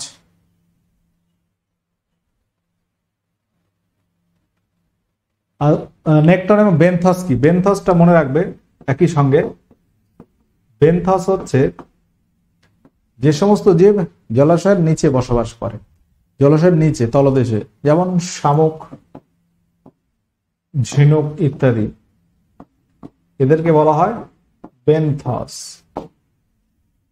পৃথিবী পৃষ্ঠে যে অংশে জীব বিরাজ করে, তা হলো কি? যে অংশে জীব বসবাস করছে হ্যাঁ যে অংশে জীব বসবাস করছে, সেটাকে আমরা বায়োস্ফিয়ার বলছি, জীবমণ্ডল। হটস্পট কি? যে সকল অঞ্চলের জীব সেটি হলো হটস্পট হচ্ছে খুব বেশি বৈচিত্র্যপূর্ণ। জীব বৈচিত্র্যপূর্ণ অঞ্চলকে হটস্পট বলে চিহ্নিত করা হয়েছে।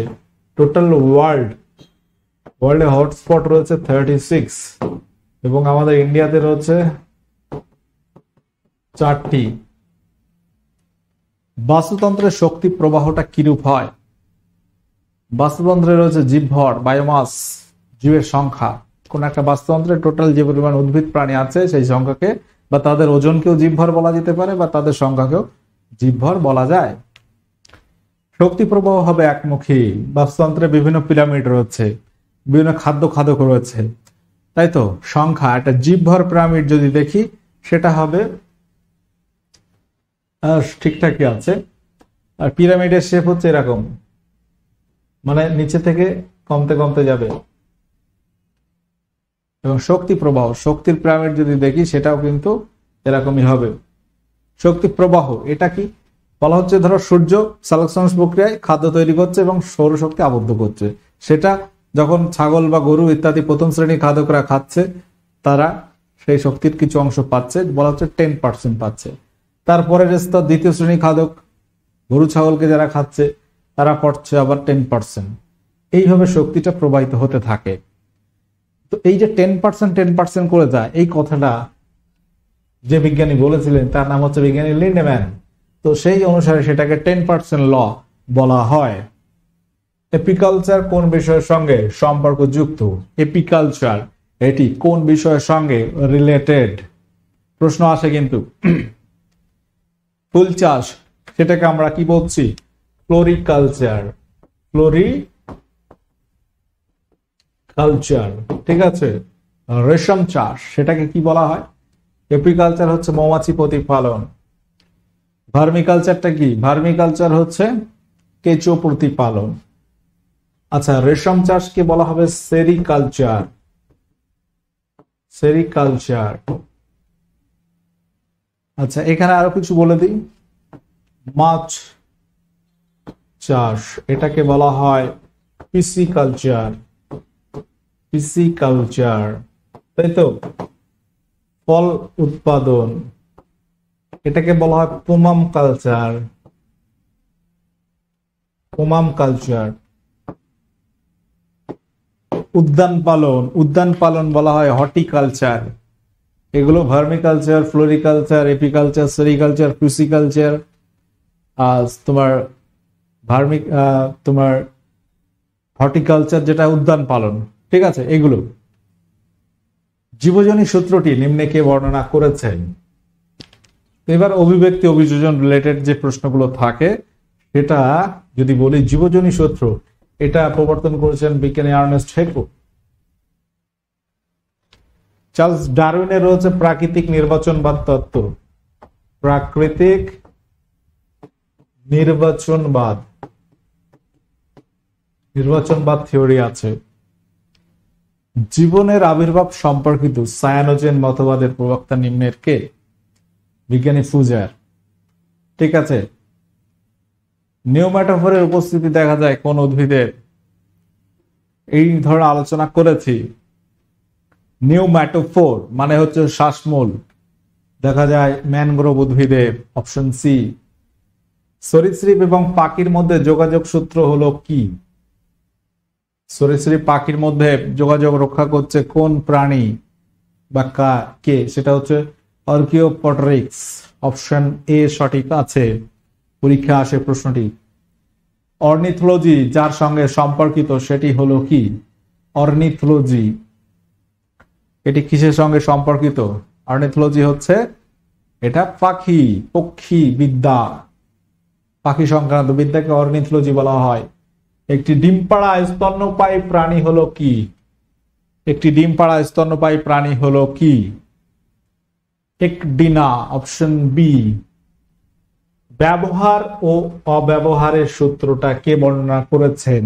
অর্থাৎ এই টাকায় বলা হচ্ছে তুমি যে অঙ্গটা বেশি ব্যবহার করবে সেটা আরও সুদৃঢ় হবে বা আরও মজবুত হবে বা সেটা অভিযোজনগত বিকাশ ঘটবে। যেটা ব্যবহার করবে না, সেটা ধীরে ধীরে বিলুপ্ত হবে। এটা বলেছেন বিজ্ঞানী ল্যামার্ক। অপশন ডি সঠিক আছে। জার্ম প্লাজম তত্ত্বটি কার? জার্ম প্লাজম তত্ত্বটি কার? বলো, এগুলো পরীক্ষায় কিন্তু আসে। বিজ্ঞানী ওয়াইজম্যান বা ভাইসম্যান। আচ্ছা বলো, মিউটেশন থিওরিটি কার? মিউটেশন বা বিবর্ত মিউটেশন থিওরি এটি এই তত্ত্বটি কার? মিউটেশন তত্ত্বটি দিয়েছিল বিজ্ঞানী হুগো দা ভ্রিজ এটাও পরীক্ষা আসে। হুগো দা ভ্রিজ এর হচ্ছে মিউটেশন থিওরি বা জার্মপ্লাজম থিওরি হচ্ছে হইসম্যানের ডারউইনের প্রাকৃতিক নির্বাচনবাদ বা ন্যাচারাল সিলেকশন আচ্ছা সায়ানোজেন মতবাদ ফুজারের ইত্যাদি ইম্পর্টেন্ট হরমোন কে আবিষ্কার করে। হরমোন কে আবিষ্কার করে। হরমেসিন নামক শব্দ থেকে হরমোন শব্দটি এসছে। এই হরমোন উদ্ভিদ প্রাণীর সবার দেহে আছে। এই হরমোন আবিষ্কারক হচ্ছে বিজ্ঞানী ভেলিস ও স্টারলিং। ঠিক আছে, উইলিয়াম হার্বে রক্ত সংবহনবাদের জনক বলা হয়। উদ্ভিদ দেহে হরমোনের উৎসস্থল নিম্নের কোনটি? উদ্ভিদ দেহে হরমোনের উৎসস্থল কোনটি হবে? উদ্ভিদ হরমোনের উৎসস্থল হচ্ছে ভাজক কলা প্রধানত, এছাড়াও আছে প্রধানত ভাজক কলা মানব দেহে হরমোনের উৎপত্তি লাভ করে কোথা থেকে? মানুষের দেহে হরমোনের উৎপত্তি স্থান কত? কোথায়? মানুষের দেহে বলা হচ্ছে অনাল গ্রন্থি থেকে হরমোন উৎপত্তি লাভ করে। ওকে, তো আমাদের যে ব্যাচগুলো চলছে, বহুবার বলছি আর বেশি বলছি না। ঠিক আছে? যদি নিতে ইচ্ছুক অবশ্যই নিয়ে নেবে। অমরদণ্ডী প্রাণীদের হরমোন কোথা থেকে নিঃসৃত হয়? ক্লাস করছ, তোমরা শুধু শুনে যাচ্ছে বলে বিরক্ত হয়ে যাচ্ছে বাট আমিও কিন্তু, সমানে কিন্তু বক বক করে যাচ্ছি। তাই তো? অন্য অপশনগুলো আলোচনা করব, অসুবিধা নেই। প্রশ্ন রয়েছে বলে করিনি। অমেরুদণ্ডী প্রাণীদের নিউরো সিক্রেটরি কোষ থেকে উদ্ভিদের ভাজক কলা মানুষের অনাল গ্রন্থি থেকে। এই অনাল গ্রন্থি মানে যারা হরমোন মিশ্রণ করে, বিশেষত। ফল পাকাতে কোন হরমোন ব্যবহৃত হয়? তো উদ্ভিদের যে সমস্ত হরমোন পাওয়া যায়, কিছু আছে প্রাকৃতিক, কিছু কৃত্রিম ভাবে তৈরি করা হচ্ছে, আর কিছু একটা আছে গ্যাসীয়। ঠিক আছে? একটা হচ্ছে প্রকল্পিত, যেগুলোর সম্পর্কে এখনও সম্পূর্ণ ধারণা পাওয়া যায়নি, যেমন ফ্লোরিজেন প্রকল্পিত হরমোন বলা হয়। ফল পাকাতে ইথিলিন হরমোন লাগে। বীজহীন ফল উৎপাদনে কোন হরমোন ব্যবহার হয়? বীজহীন ফল উৎপাদনে।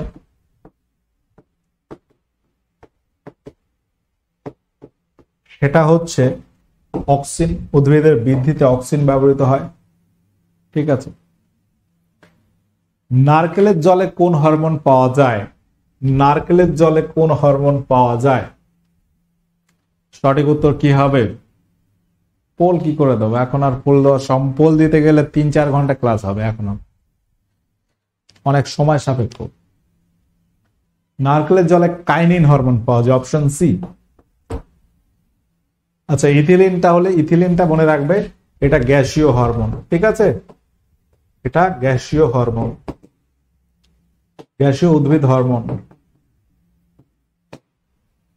ইনসুলিন। ইনসুলিন নিম্নের কোথা থেকে নিঃসৃত হয়?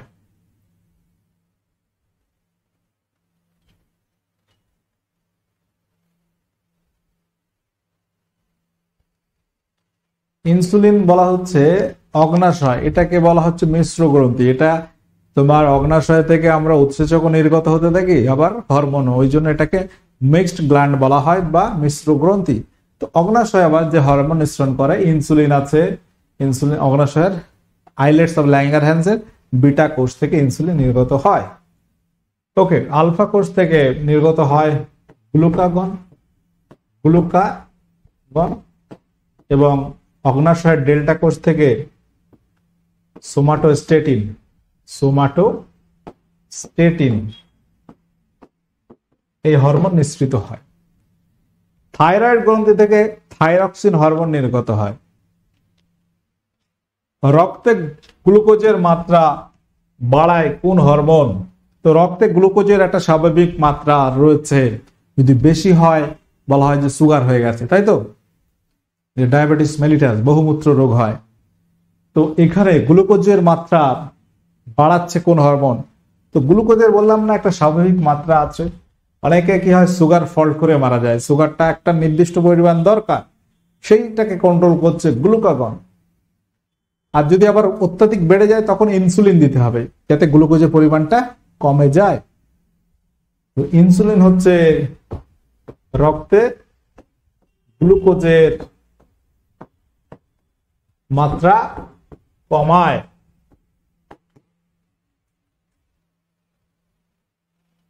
ঠিক আছে? সোমাটোস্টেটিনের কাজ কি?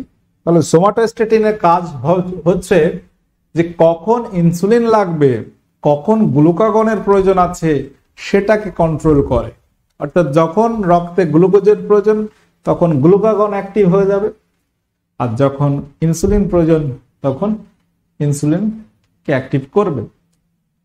স্টেজ হরমোন সোমাটোট্রপিক হরমোন নিম্নের কোন গ্রন্থি থেকে নির্গত হয়? তো মানুষের যে সমস্ত হরমোন নিঃসরণ গ্রন্থি রয়েছে বা অনাল গ্রন্থি আছে ক্লাসটা পরে দেখতে পারবে হ্যাঁ। অনাল গ্রন্থি আছে, সেটা তার মধ্যে সব থেকে সক্রিয় বা সব থেকে প্রধান বলা হচ্ছে পিটুইটারি গ্রন্থি। পিটুইটারি গ্রন্থির অবস্থান যদি বলা হয়, এটা মানবদেহের মস্তিষ্কে থাকে। মস্তিষ্কে থাকে এবং এটা খুব ক্ষুদ্র গ্রন্থি। তো এর অনেক কাজ বা ফাংশন রয়েছে, এই জন্য এটাকে প্রভু গ্রন্থি বলা হয়। পিটুইটারি কি বলা হয়? প্রভু মাস্টার গ্ল্যান্ড বা প্রভু গ্রন্থি বলা হয়। প্রভু গ্রন্থির প্রভু কাকে বলা হয়? হাইপোথ্যালামাসকে হাইপোথ্যালামাস আবার পিটুটারিকে নিয়ন্ত্রণ করে। আলাদা প্রশ্ন, অ্যাড্রিনাল গ্রন্থি থেকে অ্যাড্রিনাল হরমোন বৃক্কের উপরে এর অবস্থান? মানবদেহে দুটি বৃক্কের উপরে দুটি অ্যাড্রিনাল গ্রন্থি থাকে। ওকে, অগ্নাশয় তো পেটে থাইরয়েড গ্রন্থি থাকে মানুষের গলায় বা গ্রীবাদেশে ওকে কোন হরমোনকে বলো জরুরিকালীন বা আপদকালীন হরমোন বলা হয়? খুব ইম্পর্টেন্ট একটা কোশ্চেন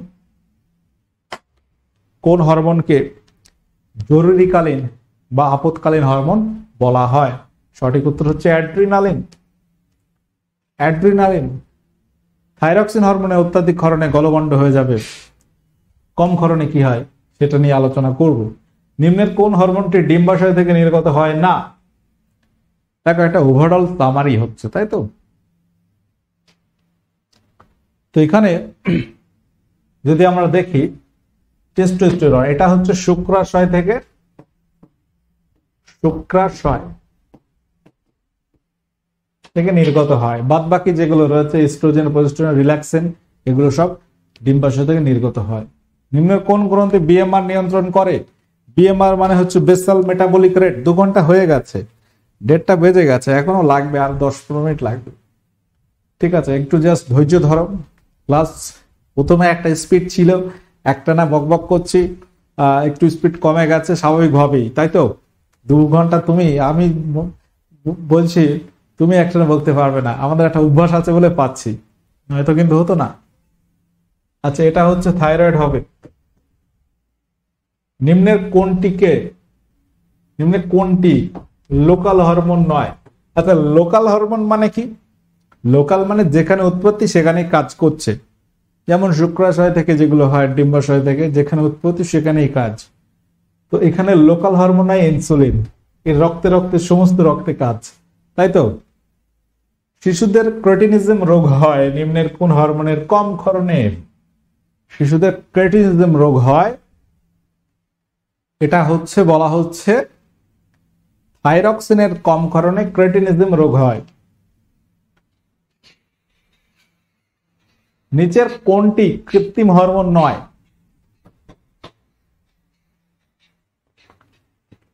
নিচের কোনটি কৃত্রিম হরমোন নয়। কৃত্রিম হরমোন নয় হচ্ছে ইন্ডোল অ্যাসিটিক অ্যাসিড, যেটাকে আমরা অক্সিন বলছি। এটা প্রাকৃতিক হরমোন, এটাই তো অক্সিন। টু ফোর ডি এটা অক্সিনের একটা কৃত্রিম hormone. N A naphthalene acetic acid IBA indole butyric acid এগুলো সব কৃত্রিম ভাবে উদ্ভিদ হরমোন বানানো হয়েছে। নিউমোনিয়া, এটি কি ঘটিত রোগ? বলো। তো মানবদেহে যে বিভিন্ন রোগ হয় বা প্রাণীদের কিছু ব্যাকটেরিয়া ঘটিত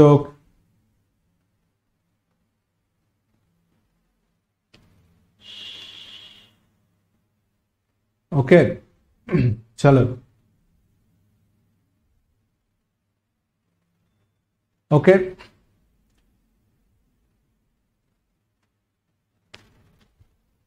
তো এখানে এটা হবে ব্যাকটেরিয়া ঘটিত রোগ ডিপ্লোকক্কাস নিউমোনি এটা কি? নিউমোনিয়া রোগের ব্যাকটেরিয়া।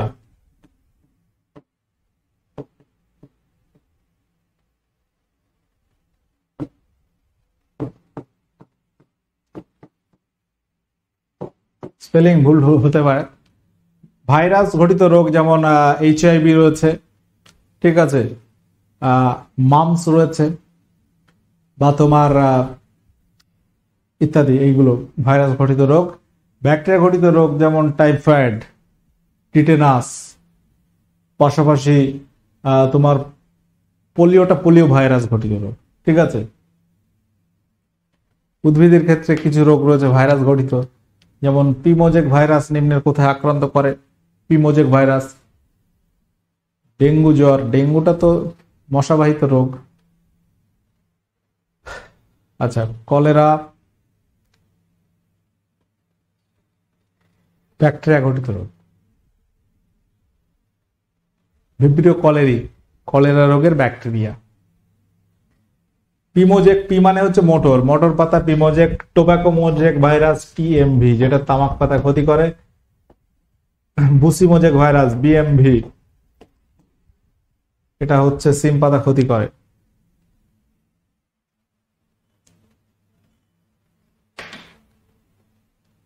পিঁপড়ের হলে কোন অ্যাসিড পাওয়া যায়? এবার অ্যাসিডে যাচ্ছে, আমরা মানে কেমিস্ট্রি পার্টে চলে যাচ্ছি এবার। পিঁপড়ের হুলে কোন অ্যাসিড পাওয়া যায়?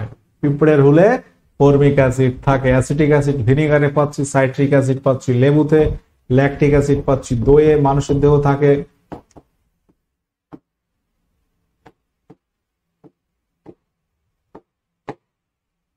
অ্যাসিডের সঙ্গে ক্ষারের বিক্রিয়ায় কি উৎপন্ন হয়? অ্যাসিড এবং ক্ষার দুটো আলাদা বিষয় এবং এদের বিক্রিয়ায় তৈরি হবে লবণ, অপশন সি। চোখ পরিষ্কার করার জন্য কোন অ্যাসিড ব্যবহৃত হয়? চোখ পরিষ্কার করার জন্য কোন অ্যাসিড ব্যবহৃত হয়? সঠিক উত্তর হয়ে যাবে বোরিক অ্যাসিড। কোনটিতে ম্যালিক অ্যাসিড পাওয়া যায়? কোনটিতে? ম্যালিক অ্যাসিড পাওয়া যায়। সঠিক উত্তর হবে আপেল। ঠিক আছে। আপেল হয়ে যাবে সঠিক উত্তর। নিচের কোনটিতে টার্টারিক অ্যাসিড থাকে?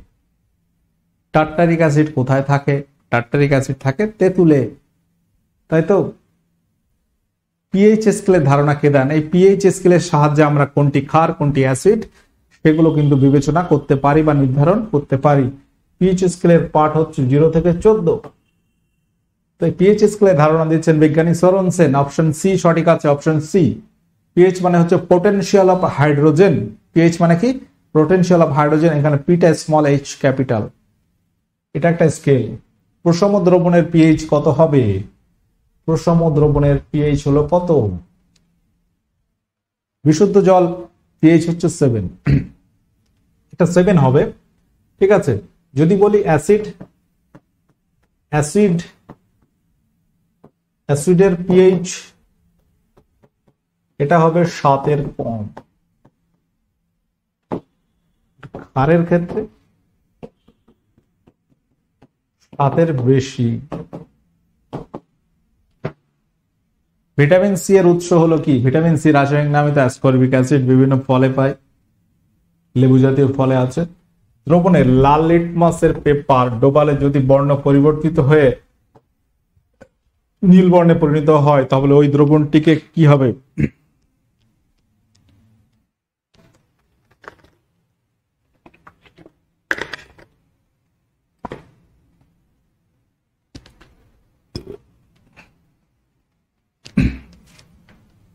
তো ওটা হয়ে যাবে ক্ষার হবে ক্ষার হবে, ঠিক আছে? লাল লেটমাস যদি নীল হয় ক্ষার নীল যদি লাল হয় অ্যাসিড। নোংরা পাত্র পরিষ্কার করার জন্য আমরা কোন অ্যাসিড ব্যবহার করি? সঠিক উত্তর, অক্সালিক অ্যাসিড ব্যবহার করি।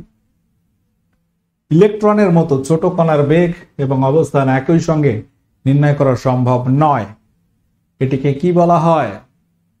এটিকে বলা হয় হাইজেনবার্গের অনিশ্চয়তা সূত্র। আমরা পরমাণুর গঠনে এই সমস্ত সূত্রের কথা পাচ্ছি।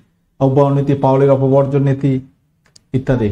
নিস্তরিত পরমাণু থেকে পজিটিভ আয়ন সৃষ্টি হবে কিসের দ্বারা? নিস্তরিত পরমাণু। এটা থেকে পজিটিভ বা নেগেটিভ যাই আয়ন হোক ইলেকট্রনের জন্যই হবে। যদি ইলেকট্রন ত্যাগ করে ইলেকট্রন কমে যাবে, আমরা কি জানি? পরমাণু নিস্তরিত এখানে প্রোটন ইলেকট্রন সমান সমান থাকে। যদি ইলেকট্রন চলে যায়, তাহলে পজিটিভ হয়ে যাবে পজিটিভের সংখ্যা বেড়ে যাবে। যদি ইলেকট্রন এসে যোগ হয়, তাহলে সেই পরমাণু নেগেটিভ তড়িৎগ্রস্ত হবে। কারণ ইলেকট্রন বেশি হওয়া মানে নেগেটিভ তড়িৎ বেশি হয়ে যাচ্ছে নেগেটিভ অগ্নি নির্বাপক হিসাবে কোনটি ব্যবহৃত হয়? কোন গ্যাস ব্যবহার করি? অর্থাৎ আগুন নেভানোর জন্য আমরা কোন গ্যাস ব্যবহার করি? আগুন জ্বালাতে অক্সিজেন ব্যবহার করি মানে ব্যবহৃত হয়, আর এটা কার্বন ডাইঅক্সাইড আগুন নেভাতে। ইলেকট্রন আবিষ্কারককে যে যে থমসন, কিন্তু ইলেকট্রনের চার্জ, ইলেকট্রনের চার্জের সঠিক পরিমাণ কে দিয়েছেন? One point six into ten to the power minus nineteen coulomb. এটা হচ্ছে ইলেকট্রনের চার্জ এর আগে মাইনাস দাও। প্রোটন হলে এর আগে প্লাস দেবে। এই চার্জের সঠিক পরিমাণ দিয়েছে বিজ্ঞানী R A Millikan option B ঠিক আছে? পরমাণুর বিক্রিয়ায় গ্রাফাইট আমরা প্রায় কিন্তু শেষের দিকে আছি। কি হিসেবে ব্যবহৃত হয়? পরমাণু বিক্রিয়ায় গ্রাফাইট ব্যবহৃত হয় মধ্যক হিসেবে। পরমাণু সুস্থিত নিউক্লিয়াসকে ভাঙা যায় কথা প্রথম কে বলেছিলেন? সুস্থিত নিউক্লিয়াস ভাঙা যেতে পারে, এটা বলেছিলেন বিজ্ঞানী রাদার ফোর্ড মনে রাখবে, পরমাণু নিউক্লিয়াসের আবিষ্কারক হচ্ছে বিজ্ঞানী রাদার ফোর্ড প্রোটন আবিষ্কারের নাম যদি বলি কে?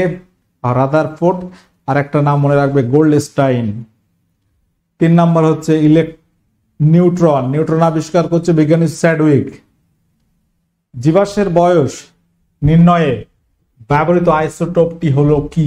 খুব ইম্পর্টেন্ট কোশ্চেন আমরা বিভিন্ন আইসোটোপ ব্যবহার করি, বিভিন্ন চিকিৎসায় ইত্যাদি কাজে। এটা হচ্ছে সি ফোরটিন কার্বন চোদ্দ আইসোটোপ। আইসোটোপটা কি জানা আছে? যদি পরমাণু, দুটি পরমাণুর প্রোটন সংখ্যা সমান হয়, একে অপরের আইসোটোপ। আর যদি ইলেকট্রন সরি নিউট্রন সমান হয়, আইসোটন, যদি ভর সংখ্যা সমান হয়, সেটাকে আইসোবার বলি। যে যন্ত্র দ্বারা তেজস্ক্রিয়তা পরিমাপ করা হয়, তা হলো কি? মনে রাখবে জিএম কাউন্টার অপশন ডি তেজস্ক্রিয় বস্তু থেকে কি নির্গত হয়? তেজস্ক্রিয় বস্তু থেকে কি নির্গত হয়? সঠিক উত্তর হবে, সবকটি, alpha, beta, gamma. Alpha ray beta ray এবং গামা রে তিন ধরনের রে নির্গত হতে পারে। সব থেকে গামা হচ্ছে ক্ষতিকারক এবং ভেদন ক্ষমতা বেশি। ভেদন ক্ষমতা বেশি, এর কোনো ভর নেই। ভর হচ্ছে শূন্য, ঠিক আছে?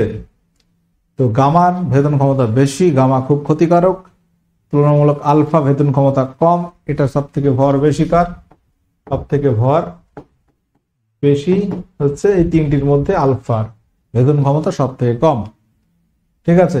বিটার তরঙ্গ দৈর্ঘ্য সব থেকে কম, আলফার সব থেকে বেশি। আচ্ছা তেজস্ক্রিয়তার একক একটু বলে দেই। তেজস্ক্রিয়তার একক কি হবে? তেজস্ক্রিয়তা একক কি হবে? মনে রাখবে এসআই একক হচ্ছে বেকারেল এবং সিজিএস একক কি হবে? সিজিএস একক হচ্ছে কুড়ি তেজস্ক্রিয়তা আবিষ্কার করেছেন প্রাকৃতিক তেজস্ক্রিয়তা হেনরি বেকারেল কৃত্রিম হচ্ছে কুড়ি কুড়ি দম্পতি আর কি। গ্যাসের সমীকরণ অনুযায়ী এটা আমরা পাচ্ছি। PV called N R T এখানে ভি আয়তন হলো এনমোল গ্যাসের। যে কোনো ভরে গ্যাসের নাকি এক মোল গ্যাসের এক গ্রাম। গ্যাসের সঠিক উত্তর হবে এন মোল গ্যাসের পরম শূন্য তাপমাত্রায় কোনো গ্যাসের, প্রত্যেক গ্যাসের আয়তন কি হবে? শূন্য হবে। এই যে পরম শূন্য তাপমাত্রার কথা বা এই সমস্ত কোনো গ্যাস যদি এই ধর্ম ফলো করে, সেগুলোকে আদর্শ বা আইডিয়াল গ্যাস বলা হয়। কিন্তু বাস্তবে কোনো গ্যাস এই পরম শূন্য উষ্ণতা যাওয়ার আগেই কঠিন হয়ে যায়। ওই জন্য বাস্তবে যে গ্যাসগুলো আছে, সেগুলো হচ্ছে ভ্যান্ডার ওয়ালস গ্যাস সমীকরণ ফলো করে।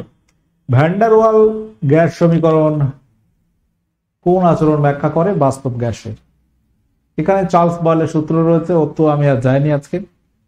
নিচে কোনটি? লাফিং গ্যাস নামে পরিচিত।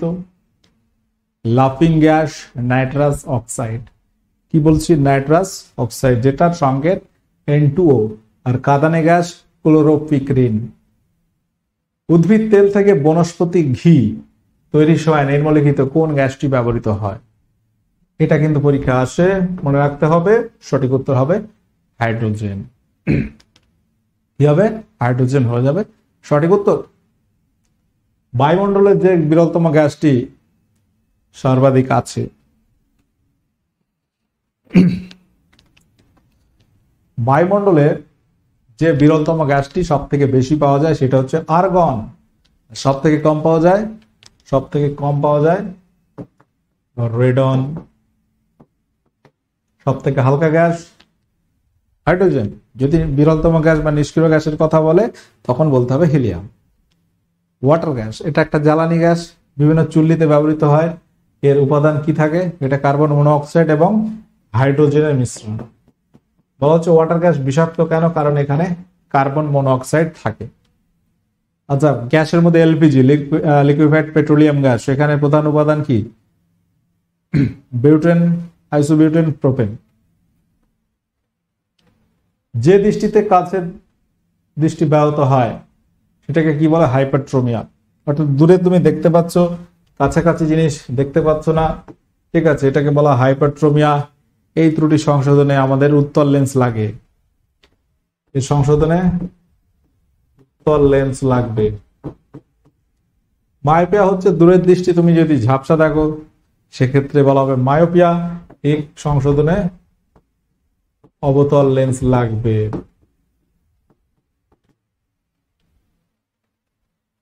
চোখের সব থেকে আলোক সংবেদী অংশ হলো নিম্নের কোনটি?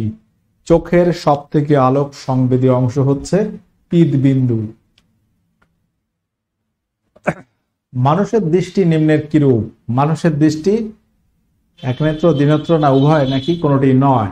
মানুষের দৃষ্টি হচ্ছে দ্বিনেত্র দৃষ্টি। পিডিএফ অবশ্যই পাবে। ওই নিয়ে চিন্তা করতে হবে না। মানুষের চোখের কোন অংশটি প্রতিসারঙ্ক সর্বাপেক্ষা বেশি? প্রতিসারঙ্ক বেশি সব থেকে কোন অংশের? সব থেকে বেশি হচ্ছে কর্নিয়া অপশন ডি মিষ্টি স্বাদ পাওয়া যায় জিভের কোন অংশে? তো আমাদের জিভের বিভিন্ন অংশে বিভিন্ন স্বাদ আছে। মিষ্টি হচ্ছে জিভের সামনের অংশে। পিছনের অংশে কি? দুই পাশে হচ্ছে টক, মাঝখানে নোনতা। আর পিছনের অংশ হচ্ছে তেঁতুল।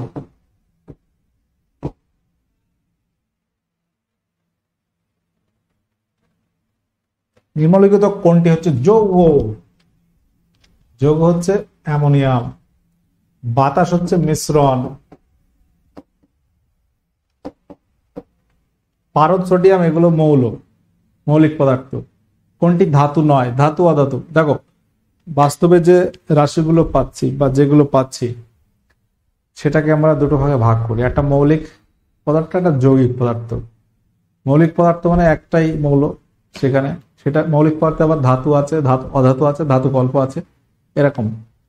যৌগিক পদার্থের মধ্যে বিভিন্ন যৌগিক মিশ্রণ আর কি। এটা ধাতু নয়, সবগুলো কোনোটাই ধাতু নয়। নিচের কোনটা একটি মৌলিক পদার্থ? ব্রোঞ্জ এটাকে সংকর ধাতু বলছে, এটা একটা মিশ্রণ, এটা মৌলিক পদার্থ না। সিলিকন, এটা একটা ধাতু। ডিসলেক্সিয়া রোগ কোন ধাতুর প্রভাবে ঘটে? সঠিক উত্তর হবে সীসা। আর্সেনিক দূষণে ব্ল্যাক ফুড ডিজিজ হয় ক্যাডমিয়াম দূষণে এটা এটাই হয়। মিনামাটা রোগের জন্য দায়ী মৌল কি পারদ। পারদ মানে এই জি। লোহার ক্ষয় থেকে বাঁচাতে নিম্নলিখিত ধাতুর উপর কিসের লেপন করা হয়? গ্যালভানাইজেশন, এটা হচ্ছে জিঙ্ক লেপন। এখানে এন্ড করছে আর ভালো লাগছে না, বলতেও পারছি না আর। ঠিক আছে, অনেক সময় তোমরা থেকেছো, অসংখ্য অসংখ্য ধন্যবাদ। দুশো একটা প্রশ্ন ছিল, যেটা তোমাদের কাজে লাগবে। ঠিক আছে, আমিও ক্লান্ত হয়ে গেছি, তোমরা দেখে বুঝতে পারছ। যাই হোক, একটা দারুণ ম্যারাথন ক্লাস হয়েছে, এর পিডিএফ পাবে, সবকিছু পেয়ে যাচ্ছ। ঠিক আছে, সকলে ভালো থাকো, অনেক অনেক শুভকামনা থাকল। পড়াশোনা করতে থাকো, নিশ্চয়ই নিশ্চয়ই তুমি সফল হবে। ঠিক আছে সফলতার ঠিক কাছে তুমি দাঁড়িয়ে আছো, তুমি বুঝতে পারছ না। আর একটু ধৈর্য ধরে তোমাকে লেগে থাকতে হবে, ব্যাস। তারপরেই তুমি সফল হবে। ওকে টাটা বাই সকলে সেশনটি শেয়ার করতে পারো। চলো।